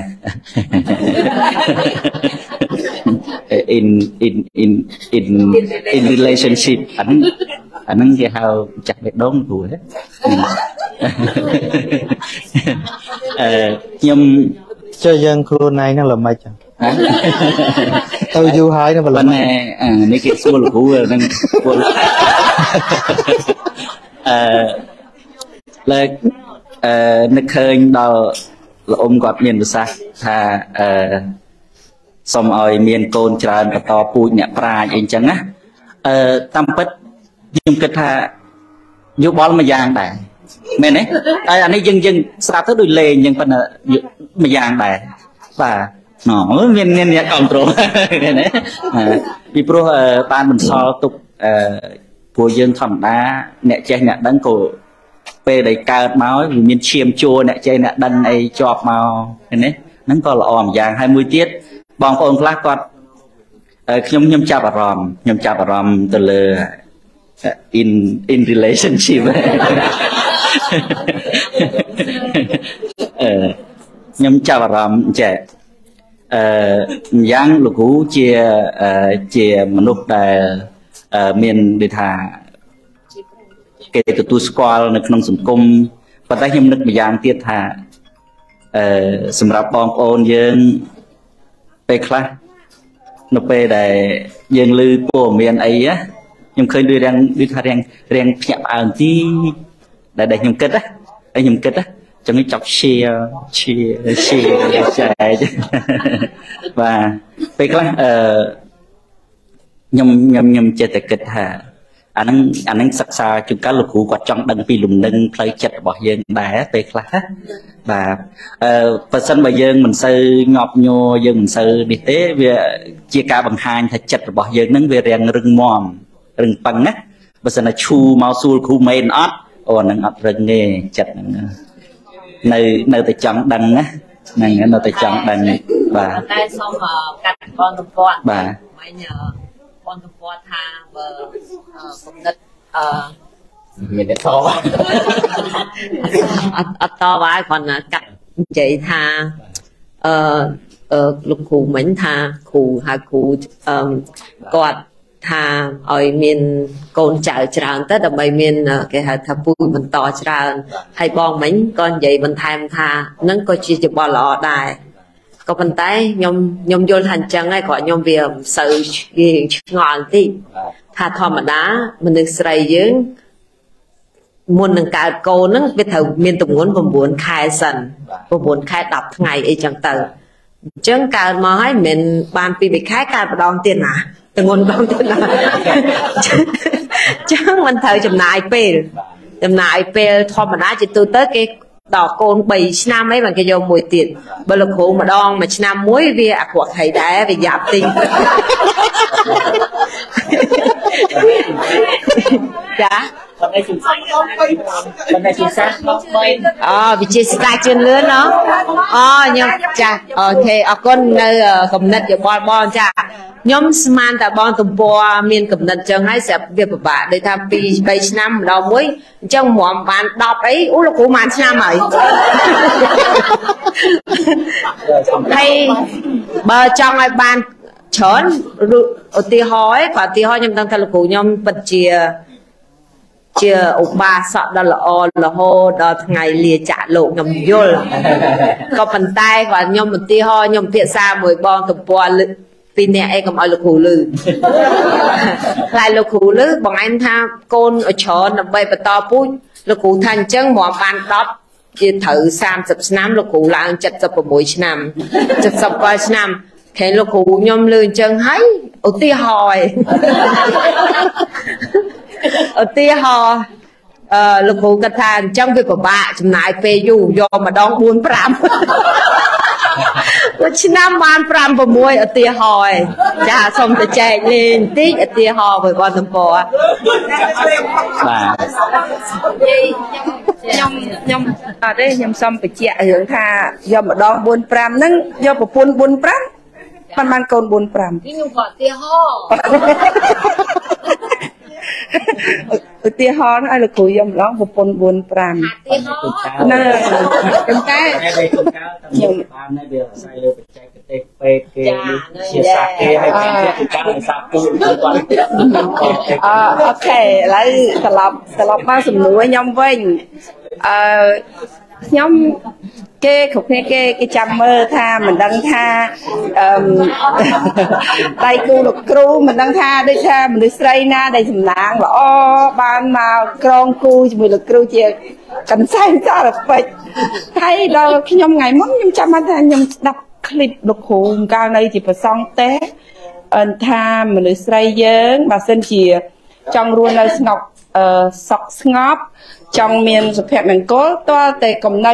កំណៃចិត្តរបស់ដែលដូចថាគេគ្រប់គ្នាត្រូវការហើយចូលលោកគ្រូយើងគេត្រូវការ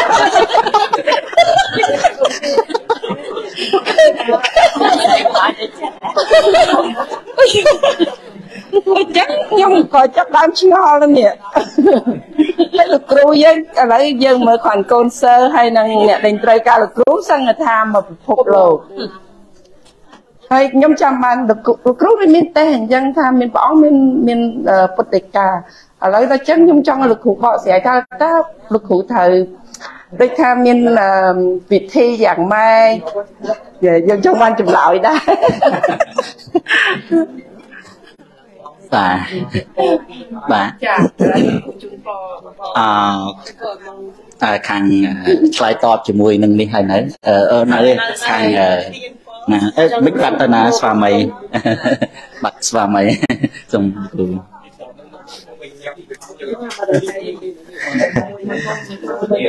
ពោអីមិញថ្មីពោអីពោប៉ុន្តែសុំពោអី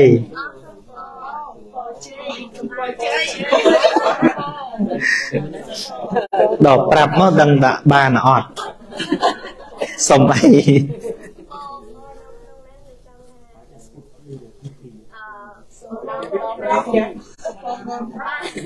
ចង់បានកូនប្រុសចង់បានកូនប្រុស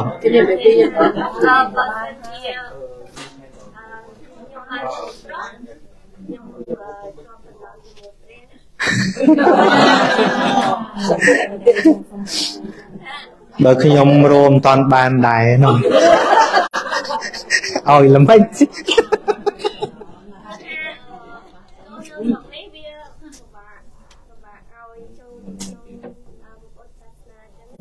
ណែជ្រុលមើលតขึ้น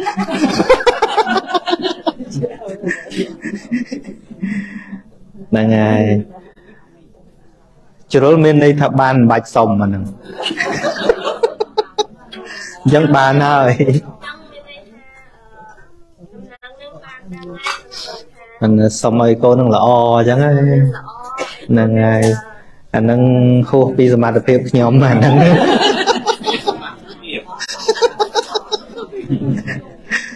ដែលពាក់ព័ន្ធនឹងបនិស័យរបស់ក្មេងផងពាក់ព័ន្ធនឹងការអប់រំរបស់យើងផងអញ្ចឹងណាហ្នឹងហើយអញ្ចឹងខ្ញុំអាចឲ្យពរចេះសូមឲ្យបានធ្វើជាមលុបហើយធ្វើទួនាទីរបស់ខ្លួនឯងឲ្យគ្រប់សម្រាប់កូននឹងអញ្ចឹងណាណាទួនាទីរបស់ម្ដាយដែលប្រពុតប្រាប់មកពិសេសចេះណែនាំកូនឲ្យស្គាល់ស្អីអាក្រក់ល្អ នឹងឲ្យយល់មិនមែនបណ្ដៅថាត្រូវធ្វើនេះធ្វើនោះទេឲ្យស្គាល់ល្អអាក្រក់មែនទែនហើយកុំភ្លេចឲ្យកូនសិក្សារៀនសូត្រពីព្រោះមានតែចំណេះដឹងទេ ដែលអាចផ្លាស់ប្ដូរជីវិតបានណាហើយទី4នោះព្រះអង្គពង្រៀនដែរថាបើកូនចង់បានគ្នាគ្នាអីអាហ្នឹងក៏យើងផ្សំគុំកូនអញ្ចឹងទៅព្រះអង្គប្រាប់ចឹងដែរតាហ្នឹងហើយ អញ្ចឹងខ្ញុំអត់អាចឲ្យពូឲ្យកូននឹងយ៉ាងម៉េចទេតែសូមឲ្យទាំងពីរអ្នកនឹងคลายជាមលុបសម្រាប់បដោះកូននឹងឲ្យបានល្អអញ្ចឹងណាពួកកូនអាចចេះស្ដាប់ឲ្យមានម៉ែឪឲ្យស្ដាប់បានអនុមោទនី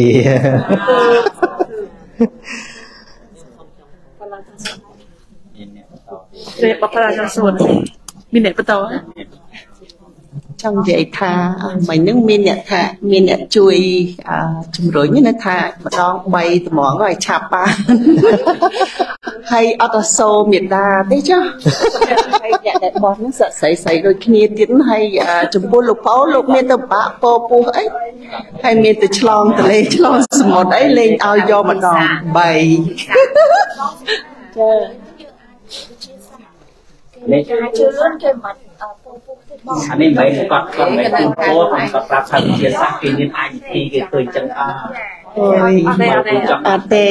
អត់ទេលោកគ្រូ ប៉ុន្តែมันมันអាចជាធម្មជាតិបានទេអូនពួកអីដាក់ដល់ពេលទៅបដោះនៅក្នុងកាយអញ្ចឹងវាអត់ដូចយើងនៅក្នុងផ្ទៃអ្នកតាបានទេអានឹងវិជាសាស្ត្រកន្លែងហ្នឹងវិជាសាស្ត្រវិជាសាស្ត្រកន្លែងហ្នឹងដូចជាมันវិជាសាស្ត្រមួយហ្នឹងដូចជា ាអឺមិនមែនជាជំរឿសបើសិនណាជាយើងអាចធ្វើតាមលក្ខណៈធម្មជាតិខ្ញុំជឿថាអឺព្រោះយើងស្រឡាញ់ធម៌យើងស្រឡាញ់ធម្មជាតិណាអូនដល់ពេលយើងចូលទៅតាមផ្លូវវិទ្យាសាស្ត្រខ្លាំងពេកវាអាចមានការប៉ះពាល់ដល់ការអភិវឌ្ឍរបស់ទារកនៅក្នុងអឺកាយកេញ្ចឹមហ្នឹងទោះបីជាវិទ្យាសាស្ត្រនឹងជឿនលឿនបែបណាក៏ដោយនៅសម្រាប់អ្នកដែលគេសាកល្បងតាមផ្លូវធម្មជាតិអស់ជំរឿនហើយ នឹងហើយអញ្ចឹងអឺមានតែឆាប់ឆាប់ទៅវាឆាប់បានហើយបើថាម្ដង3ម្ដង2ហ្នឹងអឺបើសិនណាជាប៉ុនយើងត្រូវមានម្ដង2ឬក៏3អីហ្នឹងអាហ្នឹងក៏នៅតែចាប់ម្ដាយពួកអីគាត់តោពោះហើយត្រូវឆ្លងទលេមកទាំងពីរអញ្ចឹងខ្ញុំគិតថាប្របាក៏គ្រោះថ្នាក់ដែរប៉ុន្តែវិធីសាស្ត្រ វិធីសាស្ត្រគេអាចធ្វើបានវិធីសាស្ត្រគេអាចធ្វើបានដូចជាគេអាចវះអីចឹងណាពោពោះមែនក៏ប៉ុន្តែអាចវះដើម្បីកាត់បន្ថយការឈឺចាប់ labor អីចឹងប៉ុន្តែនៅតែមានផលប៉ះពាល់ខ្លះដែរព្រោះគេអាចចាក់ថ្នាំ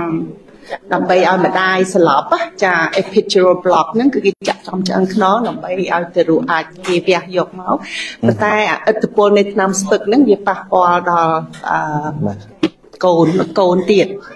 ចាព្រោះពេលដែលវះហ្នឹងគឺកូនហ្នឹងក៏មិនមែនអឺស្រែកងាងា បានទេព្រោះអីវាប៉ះពាល់ affect អាថ្នាំស្ពឹកថ្នាំស្លាប់ហ្នឹងធ្វើឲ្យប៉ះពាល់ដល់អឺសតិបញ្ញារបស់កូនហ្នឹងដែរហ្នឹងអញ្ចឹងបាច់វែងឆ្ងាយអី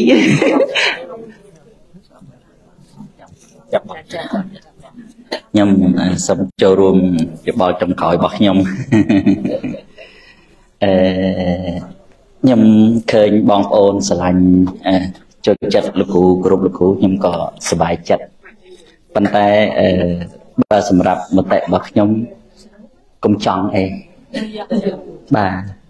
ពីព្រោះតកាលណាចង់ទុកហ่ะបាទកូន2កូន3កូន4សូមឲ្យលោកគ្រូបានប្រពន្ធកំមុំសូមឲ្យលោកគ្រូបានប្រពន្ធអត់កំមុំ អាហ្នឹងគឺគឺសិតតែសិតតែសិតតែចង់ណាតែកាលណាបើយើងបើសិនជាយើងនៅតែចង់អញ្ចឹងយើងនៅតែតាមបានយើងនៅតែកើតទុកអញ្ចឹងសំខាន់អានេះជាគំនិតរបស់ខ្ញុំ សំខាន់ថាឲ្យទៅលោកគ្រូបានសុខយើងសប្បាយចិត្តណាបើសិនបើលោកគ្រូសម្រេចចិត្តថារស់នៅបែបដូចរាល់ថ្ងៃហើយបានសេចក្តីសុខក៏យើងសប្បាយចិត្តដែរ ហើយបើសិនជាលោកគ្រូមានគ្រួសារហើយក៏មានកូនមានចៅហើយលោកគ្រូបានសេចក្តីសុខក៏យើងសប្បាយចិត្តដែរបាទពីព្រោះបើសិនបើយើងចង់តែកាលណាមិនបានដូចចិត្តចង់ហ្នឹងកើតទុកទៀតហើយឧទាហរណ៍ថាបើចង់បានឲ្យលោកគ្រូមានគ្រួសារខ្ញុំខ្ញុំឃើញតាមតាមការពិភាក្សាគ្នាតាមរយៈការបង្ហោះ Facebook ហ្នឹង សូមឲ្យលោកគ្រូបានប្រពន្ធកំមុំសូមណាកុំឲ្យបានប្រពន្ធមួយម៉ាយអីចឹងណាបាទអឺអាហ្នឹងក៏ជាបំណងល្អដែរប៉ុន្តែប៉ុន្តែចិត្តចិត្តរបស់យើងចង់តកាលណាវាមិនបានដូចចិត្តយើងយើងកើតទុកហ่ะហើយមួយទៀតជួនកាលការនិយាយរបស់យើងវាអាច discriminate បាទ the way how we say ជួនកាលវាអាចជា discrimination ដែលវាខុសពីមាគ៌ារបស់ព្រះសម្មាសម្ពុទ្ធដែលព្រះអង្គអត់ឲ្យយើងប្រកាន់អ្នកនេះប្រកាន់អ្នកនោះក្មេងចាស់ប្រុសស្រីយ៉ាងម៉េចទេបាទមីម៉ាយកំមុំអីអត់អីលោកគ្រូបើសិននេះបើតាមចិត្តខ្ញុំខ្ញុំវិញបើបើលោកគ្រូបានអីសុខសូមឲ្យលោកគ្រូសម្រេចតាមដូចបំណងដែលចង់បានបើ បើបើលោកគ្រូចង់នៅម្នាក់ឯងអញ្ចឹងក៏បានឲ្យតែលោកគ្រូបានសុខហើយបើបើសិនជាលោកគ្រូបានភរិយាទៅបានប្រពន្ធកំមុំហើយបានសេចក្តីសុខក៏យើងសប្បាយចិត្តក៏បានហើយបើលោកគ្រូបានអឺប្រពន្ធមេម៉ាយក៏បានហើយបើមេម៉ាយអត់កូនក៏បាន មេម៉ាយកូនមួយក៏បានកូនពីរក៏បានប៉ុន្តែវាសំខាន់ថាឲ្យតែលោកគ្រូបានសេចក្តីសុខមែនទេតែកាលណាបើយើងចិត្តយើងចេះតែចង់វាធម្មតាទេអានឹងចិត្តចង់របស់យើងព្រោះយើងជាមនុស្សជាទីស្រឡាញ់ប៉ុន្តែកាលណាបើយើងចង់ទៅវាអត់បានដូចចិត្តយើងយើងចេះចេះតែកើតទុកហ่ะបាទសំខាន់ថាព្រោះម៉េចយើងជាអ្នកគោរពស្រឡាញ់ហ្នឹងយើងសប្បាយចិត្តនៅពេលដែលលោកគ្រូបានសេចក្តីសុខ បាទសុខតាមបែបអីក៏ដោយឲ្យតែលោកគ្រូបានសេចក្តីសុខជាពិសេសលោកគ្រូជាអ្នកចេះដឹងអញ្ចឹងអឺប្រកបណាស់គឺមានសេចក្តីសុខក្នុងពធនឹងតែម្ដងនេះជាយោបល់របស់ខ្ញុំទេហ្នឹងតាមគំនិតរបស់ខ្ញុំខ្ញុំតាមខ្ញុំខ្ញុំ respect គោរពទៅលើការសម្រេចចិត្តរបស់លោកគ្រូហើយក៏មិនមែនលឿនពេកអីដែរដូចជាពេលដែលមានភរិយាជួនកាលមើលរឿងខ្ញុំនិយាយទៅដូចជាបែកមានរឿងមួយ កាលហ្នឹងមិនរឿងខោសកៈខោសកៈសិទ្ធិបងប្អូនធ្លាប់ស្ដាប់ទេខោសកៈសិទ្ធិខោសកៈសិទ្ធិកាលហ្នឹងអញ្ចឹងខោសកៈសិទ្ធិអឺដែលដែលកាលហ្នឹងកោខោសកៈសិទ្ធិកាលមិនតន់ឡើងជាសិទ្ធិហ្នឹងត្រូវគេសម្លាប់7ដងប៉ុន្តែអត់ស្លាប់ទេគេគេយកទៅចិញ្ចឹមហើយដល់ពេលមួយហ្នឹងខាងឪពុកចិញ្ចឹមហ្នឹងសរសេរសម្បត្តិធ្វើវាដូចថាសម្លាប់ខ្លួនឯងវាមិនបានទៅហើយណា រហូតដល់សរសេរសម្បត្តិហ្នឹងថាឲ្យទៅទៅដល់ហ្នឹងឃើញកូនហ្នឹងឲ្យសម្លាប់ទៅប៉ុន្តែដល់ទៅពេលដែលដែលទៅដល់កូននោះអត់ចេះអានអក្សរទេខោសកសិទ្ធិនោះអត់ចេះអក្សរទេណាអត់អត់ចេះអក្សរទេដល់ទៅពេលដែលទៅដល់ខាងសិទ្ធិមួយខាងទៀតនោះកូនស្រីហ្នឹងនៅនៅលើលើផ្ទះហើយអើតាមប្រួចឃើញ ឃើញខោសកៈកុមារកាលហ្នឹងនៅកុមារនៅឡើយនៅនៅកន្លោះនៅឡើយនៅពេញជំទង់ហ្នឹងណាអឺដល់ពេលអញ្ចឹងដេកដេកនៅសាលាហ្នឹងក៏លក់ទៅដល់ពេលដេកលក់ហ្នឹងទៅចេះតែទៅក្មេងហ្នឹងមកមានការអីម្នាក់ហ្នឹងទៅមើលទៅឃើញសបុតឃើញសបុតគេសរសេរថាឲ្យតែក្មេងនឹងទៅដល់ពេលណាសម្រាប់ពេលហ្នឹងទៅអញ្ចឹងហើយដល់បានអឺកូនកូនសិទ្ធិហ្នឹងគាត់គាត់ចាប់ដើម ហើយយ៉ាអាណិតមើលទៅក៏ប្រហែលជាដូចថាវាអឺអន្លង់នៃសេចក្តីស្នេហា ដែលធ្លាប់តែសាងជាមួយគ្នាមិនដឹងតាំងពីពេលណាមកវាធ្លាក់ក្តុកនៅក្នុងផ្លូវចិត្តនឹងថាវាវាអ៊ុនចាប់ដើមទាញដៃនឹងសរសេរសម្បត្តិមកថាឲ្យតែបានដល់ពេលណាចាប់ដើមរៀបការជាមួយ កូនសិទ្ធិពេលហ្នឹងទៅណែអញ្ចឹងអញ្ចឹងទៅបាទដល់អញ្ចឹងទៅដាក់ដូរអាសម្បត្តិនឹងទៀត ដូរដូរសម្បត្តិនឹងទៅស្រាប់តែអឺអ៊ីនោះបានបើកមើលសមុទ្រឃើញរៀបការឲ្យទៅរៀបការឲ្យទៅខ្ញុំចង់លើកកន្លែងនេះខ្ញុំចង់និយាយថាគ្រាន់តែបានឃើញភ្លាមដោយសារតែពុសិក្តីស្រឡាញ់វាមានពីអតីតកាលហើយនឹងការធ្វើជាមួយគ្នាបច្ចុប្បន្ននឹងក្នុងធัวសំដែងដល់ធ្លាប់បន្សំជាមួយគ្នាពីមុនមកគ្រាន់តែឃើញបរោះនឹងភ្លាមចាប់ដើមវាធ្លាក់ក្នុងអន្លង់នៃសេចក្តីស្នេហា ពេលខ្លះលោកគ្រូគាត់ឃើញភ្លាមជួនកាលវាអាចចឹងដែរវាមិនមែនប្រកាសថាសុទ្ធតែអានេះខ្ញុំគាត់តែលើកលើកអំណះអំណាងមិនមែនប្រកាសថាអឺសុទ្ធតែសុទ្ធតែពីយូរណាស់មកហើយជួនកាលវាឃើញភ្លាមស្រឡាញ់ផ្លេតក៏មានដែរវាចាស់បារាណឃើញណាអញ្ចឹងដូចបងប្អូនខ្លះពេលដែលយើងឃើញអ្នកណាម្នាក់ដូចគួររាប់អានឃើញអាមុខអាម្នាក់ហ្នឹងដូចដូចដូចមុខយ៉ាត់ហ្មងចង់អត់ចង់រាប់ហ្មងចង់អាជេរចង់ថាឲ្យ ខ្ញុំអត់ចូលចិត្តទេប្រុសប្រុសអស់ហ្នឹងប៉ុន្តែឃើញម្នាក់នោះអើយយក៏ដូចជាទៅធ្លាក់ក្នុងអន្លង់នៃសេចក្តីស្នេហាឃើញទេអញ្ចឹងអាវាអាចហើយម្យ៉ាងទៀតខ្ញុំខ្ញុំចេះបើសិនជានេះបើគំនិតរបស់ខ្ញុំ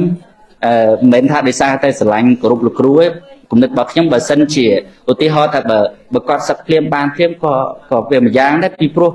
សំខាន់កុំឲ្យខុសនៅលោក ប្រសិនបើសិនជាខុសឆ្គងនៅលោកអានឹងមិនសមរម្យទេមែនទេតែបើបានជាអញ្ចឹងហើយព្រោះពុទ្ធក៏ព្រះអង្គអត់ហាមដែរអានឹងជាសេរីភាពរបស់លោកគ្រូហ្នឹងគាត់លើកមកអញ្ចឹងប៉ុន្តែជាធម្មតាទេអានឹងពុទ្ធបរិស័ទគាត់គ្រប់គាត់ស្រឡាញ់ក៏តែងតែ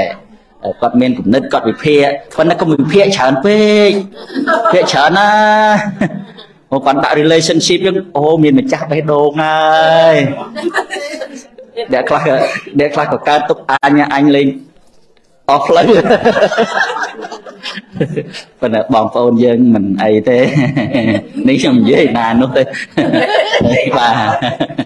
ហើយប៉ុន្តែឥឡូវខ្ញុំសរុបចុងក្រោយមកវិញថាធ្វើម៉េចយើងរៀនលំនឹងផ្លូវចិត្តរបស់យើងប៉ះសិនបើយើងអឺពេលឃើញព័ត៌មានអីក៏យើងគាត់ថាអានេះក្នុងចិត្តរបស់ខ្ញុំណាមានតែឲ្យលោកគ្រូបានជូនពរគាត់បានសេចក្តីសុខប៉ុណ្ណឹងគ្រប់គ្រាន់ណាស់យ៉ាងហ្នឹងណា តើតាមបែបយ៉ាងណាហ្នឹងជាការសម្រេចចិត្តរបស់លោកគ្រូមែនទេបាទអាហ្នឹងខ្ញុំចូលរួមតែប៉ុណ្ណឹងសូមប៉ុណ្ណឹងចាអឺខ្ញុំដឹងបងប្អូនរៀងឃ្លាននិយាយតិចដំបងខ្ញុំសូមនមស្ការដល់ព្រះពុទ្ធពធព្រះសង្ឃ ហើយសូមគោរពដល់លោកគ្រូសានសជាអឹមនៅតែមានអារម្មណ៍ហើយនៅតែមានចិត្តនៅតែមានគំនិតគោរពស្រឡាញ់លោកគ្រូ ដែលជាគ្រូតែងតែអឺបញ្យលណែនាំពួកខ្ញុំទាំងអស់គ្នាជាពិសេសគឺខ្ញុំផ្ទាល់គឺ មានសេចក្តីល្ងិតល្ងងមកឲ្យភ្លឺឲ្យយល់ឲ្យមានបញ្ញា ទៅតាមអវាទរបស់ព្រះពុទ្ធ គឺខ្ញុំនៅតែស្រឡាញ់នៅតែគោរពរហូតអស់កាលអស់ជីវិតរបស់ខ្ញុំអឺថ្ងៃនេះអរគុណដល់បងប្អូនទាំងអស់គ្នាជាថ្មីម្ដងទៀតសូមគោរពអរគុណទាំងអស់គ្នាដែលយើងទាំងអស់គ្នាជាមិត្តជាបងជាប្អូនដែលរួមបធរជាមួយគ្នា រួមលោកជាមួយគ្នា ហើយថ្ងៃនេះគឺជាថ្ងៃ ដែលខ្ញុំខូបកំណើតខ្ញុំមិនមែននេះទេគឺខ្ញុំចង់ជំរាបបងប្អូនគេលោកមានបងប្អូនខ្លះដែលមិនដឹងជាថ្ងៃខូបកំណើតរបស់ខ្ញុំគម្រប់មិនមែន26ឆ្នាំទេអឺកុំឃើញខ្ញុំស្អាតអញ្ចឹងថាខ្ញុំ26អី ជាទូទៅខ្ញុំស្អាតតែអញ្ចឹងចឹងហើយចឹងសូមជម្រាបដល់បងប្អូនទាំងអស់គ្នាថាខ្ញុំអាយុ41ឆ្នាំហើយក៏ប៉ុន្តែបើតាមខ្ញុំដឹងខ្លួនខ្ញុំផ្ទាល់កម្លាំងនៅមាំទេហើយបញ្ញាហ្នឹងគឺបាននៅចាំគ្រាន់បើដែរសម្រាប់ ជាពិសេសនៅចាំមុខប្តីជាងគេប្តីនឹងអត់ភ្លេចទេប្តីខ្ញុំនោះអត់សក់នោះ my husband he is my husband យេអឺនឹកដល់ថ្ងៃហ្នឹងខ្ញុំចង់ធ្វើកម្មវិធីនេះគឺខ្ញុំដឹងថាខ្ញុំគោរពនឹកឃើញដល់ឪពុកម្ដាយជារៀងរាល់ថ្ងៃក៏ប៉ុន្តែថ្ងៃនេះ គឺជាថ្ងៃដែលខ្ញុំចង់ហែកបេះដូងចង់បានប្រាប់បងប្អូនថាថ្ងៃនេះគឺជាថ្ងៃដែលខ្ញុំគិតថាសម័យមកសម័យកាលពី41ឆ្នាំមកវិញគឺជាថ្ងៃដែលខ្ញុំឃើញពន្លឺថ្ងៃក៏ប៉ុន្តែសម័យឃើញថាម្ដាយគឺលំបាកលះបង់ជីវិតដើម្បីកូនដូច្នោះហើយ នៅពេលដែលខ្ញុំធំឡើងបន្តិចទៅ នៅពេលដែលយើងយល់ពីអ្វីល្អអ្វីក្រក់បានទៅសាលារៀន ខ្លះទៅយើងយល់ទៅគិតថា គឺឪពុកម្ដាយយើងមានគុណលើយើង គឺគាត់លះបង់ទាំងកាយទាំងចិត្តទាំងជីវិតដូចជាម្ដាយគឺគាត់លះបង់ទាំងអស់លះបង់ទាំងសាច់ឈាមការឈឺចាប់ដើម្បីបង្កើតកូនមកលះបង់ទាំងគំនិតដើម្បីមើលថែទាំកូនលះបង់ក្តីស្រឡាញ់លះបង់លើសជីវិតរបស់គាត់ទៀតសូម្បីតែឪពុកក៏គាត់លះបង់ដែរ គាត់គាត់លះបង់ទៅតាមបែបរបស់គាត់គាត់ត្រូវទៅរកស៊ីចិញ្ចឹមកូនលះបង់ពេលវេលាលះបង់អ្វីទាំងអស់គឺដើម្បីកូនចឹងនឹកឃើញមកដល់ថ្ងៃនេះគឺជាថ្ងៃដែលឪពុកម្ដាយខ្ញុំអស្ចារ្យណាស់សម្រាប់ជីវិតខ្ញុំខ្ញុំស្រឡាញ់គោរពគាត់លះបង់សពបែបយ៉ាងដើម្បីគាត់គឺខ្ញុំគិតថាខ្ញុំធ្វើអ្វីក៏ដោយដើម្បីឲ្យតែឪពុកម្ដាយខ្ញុំបានរស់ស្រួល អញ្ចឹងនៅពេលដែលខ្ញុំអាយុដូចជា12 13ឆ្នាំមកគឺខ្ញុំមានកំណត់ចូលចិត្តរលុយធ្វើម៉េចដើម្បីជួយឪពុកម្ដាយគំនិតខ្ញុំគិតតែមួយមុខឯថាធ្វើម៉េចមិនឲ្យឪពុកម្ដាយខ្ញុំលំបាកឯងអញ្ចឹងគំនិតខ្ញុំថាធ្វើម៉េចដើម្បីរលួយតែខ្ញុំកាន់តែដឹងច្បាស់ទៀតនៅពេលដែលខ្ញុំម្ដាយខ្ញុំឲ្យខ្ញុំយកប្តី បង្ខំខ្ញុំដែរកាលនឹងលោកគ្រូក៏ប៉ុន្តែខ្ញុំមិនបន្ទោសឪពុកម្ដាយខ្ញុំទេការដែលគាត់ចង់អឺដោយសារគាត់គិតថាខ្លួនគាត់ចាស់ខ្ញុំកើតមកឃើញឪពុកម្ដាយខ្ញុំចាស់ខ្ញុំដឹងអញ្ចឹងខ្ញុំគិតថាជាយោបល់ខ្ញុំដែលខ្ញុំជាក្មេងមួយកើតមកឪពុកម្ដាយខ្ញុំអាយុ40ជាងហើយហើយម្ដាយខ្ញុំគេងពេទ្យរហូត ចឹងឲ្យយោបល់ថាលោកគ្រូយកប្រពន្ធឆាប់ឆាប់ទៅកុំឲ្យកូនហៅតាខ្ញុំពីមុនហៅប៉ាខ្ញុំពេលទៅរៀនខ្ញុំក៏ហក់គេលោកគ្រូមែនណាខ្ញុំនិយាយរឿងពិតគឺខ្ញុំក៏ហក់គេថាប៉ាខ្ញុំហ្នឹងតាខ្ញុំហើយឪពុកបងបងប្រុសខ្ញុំបងធំហ្នឹងខ្ញុំតែងតែប្រាប់គាត់ថាជាប៉ារបស់ខ្ញុំគាត់សង្ហា ចឹងតែខ្ញុំប្រាប់ខ្ញុំខូចតាំងក្មេងខ្ញុំចាតទៅពេលឪពុកម្ដាយបង្ខំឲ្យខ្ញុំយកប្តីក៏អត់បន្ទោសគាត់ដែរព្រោះមកពីខ្ញុំនឹងចង់ដែរចង់ដែរទៅក៏យកទៅនៅពេលដែលខ្ញុំយកប្តីហើយខ្ញុំកាន់តែយល់យល់ច្បាស់នៅក្តីស្រឡាញ់រវាងឪពុកម្ដាយខ្ញុំ គឺក្តីស្រឡាញ់នឹងពោះខ្ញុំនៅពីក្មេងខ្ញុំចេះតែឆ្ងល់ ហើយខ្ញុំនិយាយកាប់ពិតមិនក៏ប្លែកទេនិយាយចេញពីចិត្តហើយជីពីចិត្តពិតរបស់ខ្ញុំខ្ញុំឆ្ងល់ណាស់ហេតុអីបានជាម៉ែខ្ញុំស្រឡាញ់ប៉ាខ្ញុំខ្ញុំអាសាសួរតាម៉ែម៉ែម៉ែស្រឡាញ់ប៉ាមិនទៅប៉ាមកអាក្រក់អញ្ចឹងតទៅពេលខ្ញុំមានប្តីបាទខ្ញុំដឹងថាក្តីស្រឡាញ់មិនមែនទៅលើរូបរាងទេ ក្តីស្រឡាញ់កើតចេញពីភាពស្និទ្ធស្នាលកើតចេញពីការជួយគ្នាកើតចេញពីអារម្មណ៍ថា យើងធ្វើមិនចង់រស់នៅជាមួយគ្នាឲ្យបានសុខគឺយើងត្រូវតែអត់ឱននឹងគ្នាដូច្នោះហើយការស្រឡាញ់ហ្នឹងបានតែមួយផ្លែទេបើយើងអត់មានការអត់ឱនពីព្រោះមនុស្សគ្រប់រូបតែងតែមានកំហុសអញ្ចឹងហើយបើយើងស្រឡាញ់គ្នាយើងអត់ឱននៅគ្នាយើងកែគ្នាទៅវិញទៅមកទៅហើយខ្ញុំធំឡើងខ្ញុំដឹងក្តីស្រឡាញ់រវាងគាត់តទៅពេលមួយខ្ញុំការហើយខ្ញុំមានកូន ពេលដែលខ្ញុំកើតកូនកូនខ្ញុំចេញមកព្រឹបខ្ញុំថារំភើបចិត្តហើយខ្ញុំនឹកឃើញថាម្ដាយខ្ញុំស្រឡាញ់ខ្ញុំអញ្ចឹងណោះលះបង់អញ្ចឹងណោះឈឺចាប់អញ្ចឹងណោះអញ្ចឹងខ្ញុំតែងតែគិតថា នៅ ពេលដែលកូនខ្ញុំធំឡើង តាំងពីកូនខ្ញុំចាប់ពីកំណើតចេញមើលពិភពលោកខ្ញុំដឹងអារម្មណ៍នឹងច្បាស់ណាស់ម្ដាយខ្ញុំស្រឡាញ់ខ្ញុំរបៀបម៉េច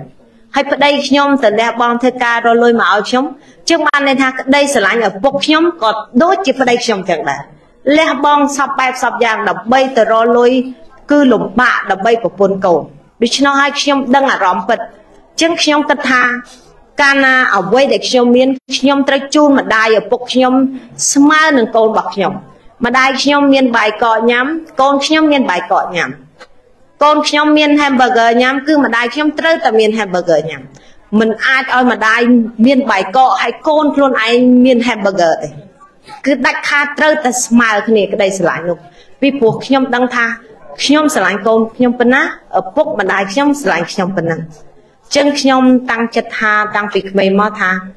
ត្រូវធ្វើជាកូនល្អត្រូវធ្វើជាមនុស្សល្អដើម្បីរស់នៅលើពិភពលោកនេះឲ្យមានតម្លៃ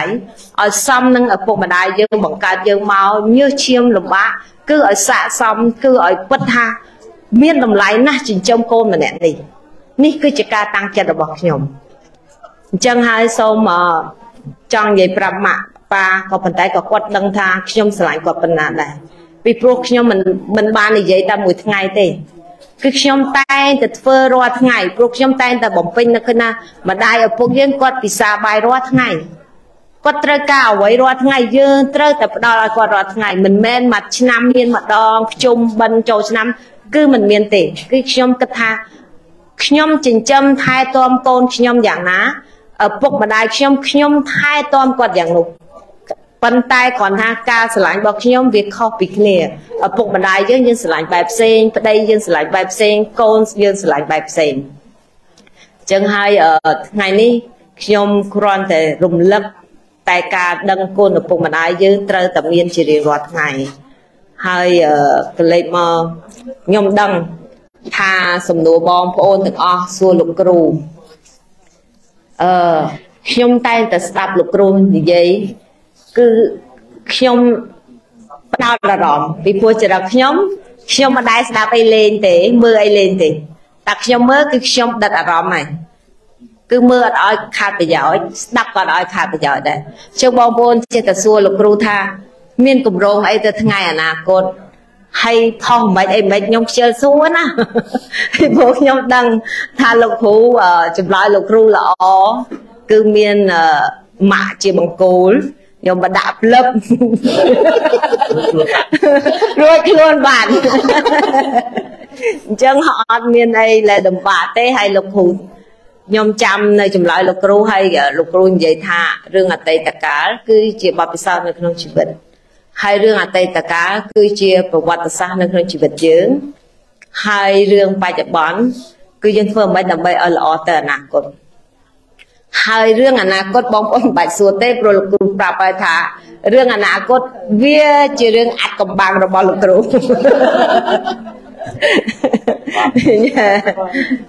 ដោយបងបងស្រីនិយាយមិញរឿងយល់សពលោកគ្រូខ្ញុំចេះតែបារម្ភខ្លួនខ្ញុំដែរថាខ្ញុំយល់សពនេះវិលវល់ហើយមិនមែនរឿងកំ pl ែងទៀតចេះមែនតើម្ដងយល់សពឃើញប្តីមួយ លើកទី1ម្ដងប្តីដើមទៅម្ដងប្តីកដាលទៅយកសោះដល់ព្រឹង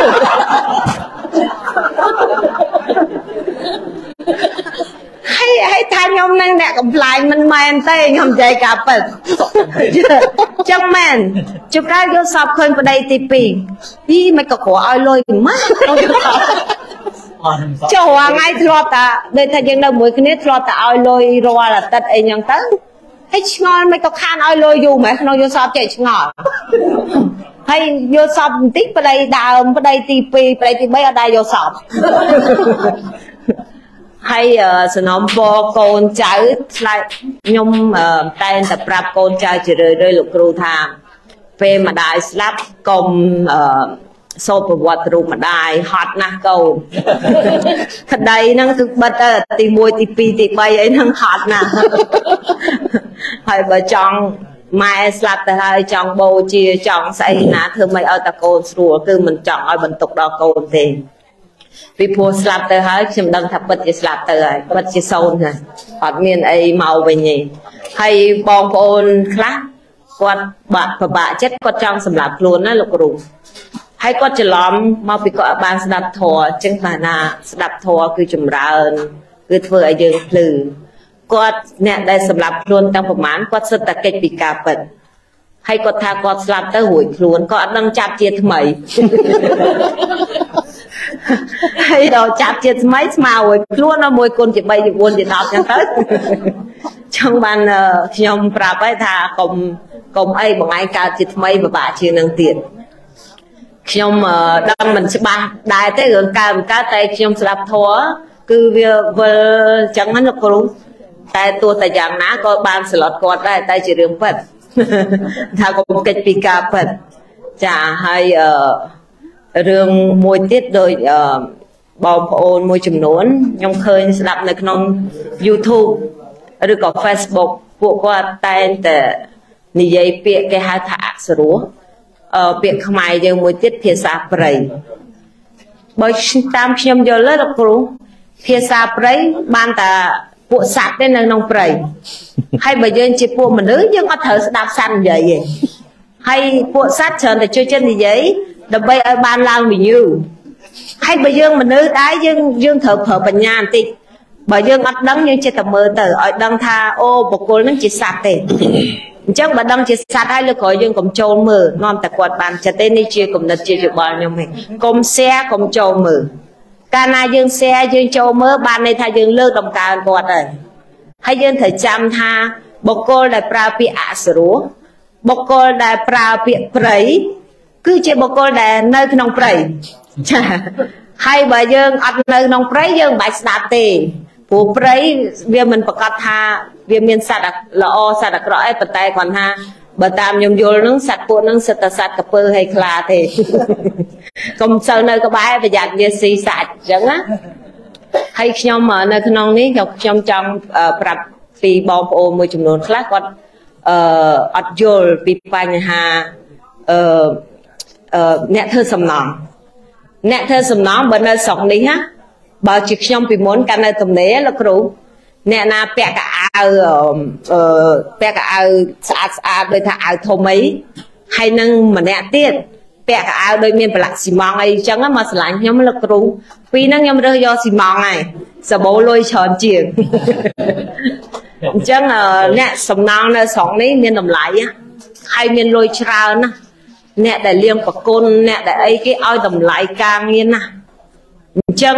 រាល់បុគ្គលទាំងអស់អ្នកធ្វើការអីក៏មានតម្លៃដែរក៏ប៉ុន្តែខ្ញុំសូមបញ្ជាក់នៅក្នុងនេះថាបើសិនជាលោកគ្រូវិញទៅធ្វើសំណងឬក៏ទៅធ្វើអីក៏ដោយក៏ខ្ញុំនៅតែស្រឡាញ់គ្រប់អស់មួយជីវិតរបស់ខ្ញុំពីព្រោះជាការងារដែលសុចរិតការងារដែលថ្លៃថ្នូរមិនមែនជាការងារដែលលួចឆក់ប្លន់ធ្វើបាបគេខ្ញុំនៅតែគ្រប់គ្រងក្រៅពីការងារដែលសង្គមគេមិនទទួលស្គាល់ ទោះលោកគ្រូខ្លាយជាអ្វីក៏ខ្ញុំនៅតែស្រឡាញ់គ្រប់ដែរក៏ប៉ុន្តែខ្ញុំជឿថាបញ្ញារបស់មនុស្សมันអាចទៅដល់ដោយលោកគ្រូថាចឹងបច្ច័យវាហើយមានហេតុរបស់វាបើហេតុវាទៅអញ្ចឹងអាហ្នឹងបានវាទៅអញ្ចឹងតែខ្ញុំជឿថាហេតុលោកគ្រូមិនទៅអញ្ចឹងទេ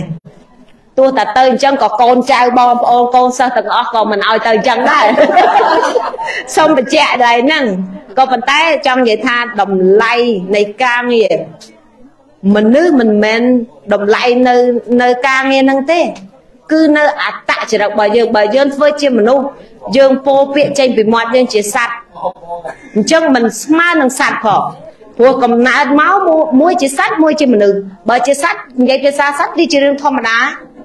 ប៉ុន្តែបើមនុស្សនិយាយភាសាសត្វអាហ្នឹងមិនមែនធម្មតាទេហើយបើខ្មែរយើងមិនមែនធម្មតាគេហៅឈួតចំហើយ ចាហើយដោយពាក្យកថេតថេតញីអីយោហើយញីញីហ្នឹងខ្ញុំគិតថាប្រើភាសាសត្វទេអញ្ចឹងលោកគ្រូអឺបើភាសាខ្មែរយើងបើភាសាយើងថ្លៃថ្នូរគេហៅស្រីហើយប្រុសទេបើអ្នកណានិយាយទៅបុគ្គលជាស្រីថាញីហ្នឹងជាភាសាសត្វទេចឹងបើតាមខ្ញុំឲ្យយោបល់ថាបើគាត់និយាយភាសាសត្វយើងកុំជួយ share ច្រើនពេកនាំតែគាត់ បានល្បីនាំតែគាត់បានចិត្តទៅគាត់និយាយទៅវាជះដល់សង្គមក្មេងតូចតាចដែលវាអត់យល់វិន័យជាពិសេសបរទេសជួកាលពាក្យអសុររបស់យើងវាបន្ថោកនៅតម្លៃទេសប្រទេសជាតិរបស់យើងដែលជាខ្មែរដូចគ្នាវប្បធម៌របស់យើងទាំងអស់គ្នាអញ្ចឹងហើយខ្ញុំស្នំពរថាកុំកុំមើលនេះជាគំនិតរបស់ខ្ញុំណាលោកគ្រូចាអញ្ចឹងហើយយើងទាំងអស់គ្នាជួយចិត្តតាសែអញ្ចឹងធ្វើឲ្យគាត់បានចិត្ត ពីពួកខ្ញុំមិនដែលមើលពួកគាត់ទេព្រោះភាសាព្រៃហ្នឹងទុកឲ្យគាត់នៅម្ដុំហើយចំណាយលោកគ្រូខ្ញុំខ្ញុំដឹងថាគាត់មិនធ្លាក់ទៅដល់ដោយពួកគាត់ថាទេអញ្ចឹងយើងគ្មានអីគួរបារម្ភទេចាអញ្ចឹងអឺបងប្អូនខ្លះចេះតែខឹងខ្ញុំអត់ខឹងទេហើយក៏សុំទោសថ្ងៃមុនខ្ញុំនិយាយលេងទេថាម៉ាយម៉ាយអែបគៀន លេងលោកគ្រូមកដល់ផ្ទះគេតែមកហ្មងម៉ាយតែមកបងឯងនិយាយចឹងខ្ញុំអត់សង្ឃឹមហើយតែគេមុនគេមុនហើយគាត់មិនម៉ាយស្រីស្អាតទៀតណាលោកគ្រូគេអ្នកមានទៀតគេតែមកបងឯងនិយាយចឹងខ្ញុំអត់សង្ឃឹមហើយខ្ញុំថាមិន ថានិយាយលេងទេនិយាយថាឲ្យដូចបងយៀងអីអែបឆ្ងាយទេនិយាយបងយៀងនិយាយប្រាប់គាត់ថាយ៉ាខ្ញុំនិយាយឲ្យយៀងទេអីយៀងថ្ងៃថ្ងៃលោកសឹកថ្ងៃលោក សឹកទៅបងយៀងឲ្យវាឡើងដាក់ក្រោយ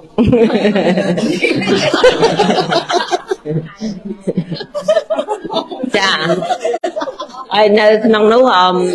លោកគ្រូខ្ញុំមានមិត្តភ័ក្ដិខ្ញុំគេសួរជាសំណួរឲ្យផ្ដាំឲ្យខ្ញុំសួរខ្ញុំក៏បានឆ្លើយខ្លះដែរតែគេអត់អស់ចិត្តគេថាសំណពរមកពីអាមេរិកថាឲ្យជួយសួរលោកគ្រូថាអឺគេមាន អឺដូចថាស្រឡាញ់បរោះម្នាក់ដែលមានប្រពន្ធហើយហើយដឹងគេថាមានប្រពន្ធហើយតែគេថាគេគ្រាន់យកលេងលេងទេគេអត់មានទៅបង្រត់បង្រាស់អីទេតើអឺគេមានបាបយ៉ាងណាឬក៏គេទទួលយ៉ាងណាចឹងសូមឲ្យលោកគ្រូឲ្យយោបល់ហើយនឹងមួយទៀតគាត់មានអឺ ដូចថាបងថ្លៃលោកលន់គាត់ប៉ុន្តែលោកអត់បានទេចង់រំលោភគាត់ណាណាលោកគ្រូក៏ប៉ុន្តែគាត់មានអារម្មណ៍ថាគាត់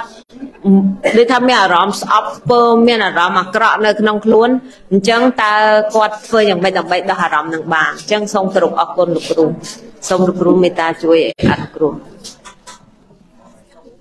អឺខ្ញុំសុំទុកសំណួរនឹងក្រោយចា៎មានពេលណាចាំខ្ញុំ អឺឆ្លើយហើយពេលស្ដាហើយបងលើកពីពាក្យដែលថាអឺកុំទៅចិត្តរបស់ណាដែលគេចូលចិត្តច្រើនបើចង់សុខណាអានឹងពាក្យរបស់សូក្រាតគាត់ផ្ដាំប្រពន្ធគាត់ណាគាត់ថាបើអូនចង់សុខកុំទៅចិត្តរបស់ណាដែលគេប្រាថ្នាច្រើន អានឹងពាក្យត្រង់តារបស់តែគេប្រាថ្នាច្រើនភាពចំណែនគ្នាហ្នឹងក៏ច្រើនហ្នឹងហើយប៉ុន្តែបើវាជៀសមិនរួចវាត្រូវ step ទី2វាត្រូវយើងបើកចិត្តទៅលេងបន្តិចដូចសួរ reflect មកខ្ញុំថាចុះបើនារីណាមកជាដៃគូរបស់ខ្ញុំល្មិចទៅហ្នឹងជាការពិតណាវាត្រូវតែចូលទៅ step ទី2តែត្រូវបើកចិត្តរបៀបម៉េច ជាធម្មតាមនុស្សសាធារណៈច្រើនតែខ្វះខាតនៅ privacy ពេលវេលាវាទទួលទទួលស្គាល់កន្លែងហ្នឹងអញ្ចឹងបានគេថានារីណាបានមកជាគូរបស់ខ្ញុំសំណាងខ្ញុំគិតថាមិនដឹងថាសាច់កម្មឬក៏ឬក៏សំណាងទេណែតែបើសិនជាគាត់មានចិត្តទូលាយអញ្ចឹងណាគាត់ពិតជាមនុស្សមានសំណាងបើគាត់មានចិត្តទូលាយ ថាចង់អ្នកណាមកអោបខ្ញុំអីក៏អោបទៅណាអានឹងអានឹងគាត់មានសំណាងហើយតែបើសិនជាគេគ្រាន់តែប៉ះដៃខ្ញុំមិនបានគឺក្តៅរហូតហើយមែនទេអានឹងវានៅលើចិត្តដដែលទេហ្នឹងហើយ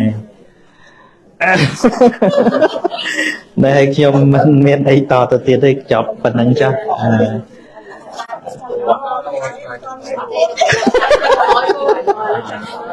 បាទអឺពេលវេលាដែលយូរដែរហើយហើយខ្ញុំក៏មានកិច្ចត្រូវបំពេញតទៀតដែរសូមបញ្ចប់ប៉ុណ្្នឹងចា៎បាទសូមអនុមោទនីសាធុបាទឥឡូវយើងបញ្ចប់កម្មវិធីរបស់យើងយើងនមស្ការទៅទិសបុណ្យបាទទិសបុណ្យហើយ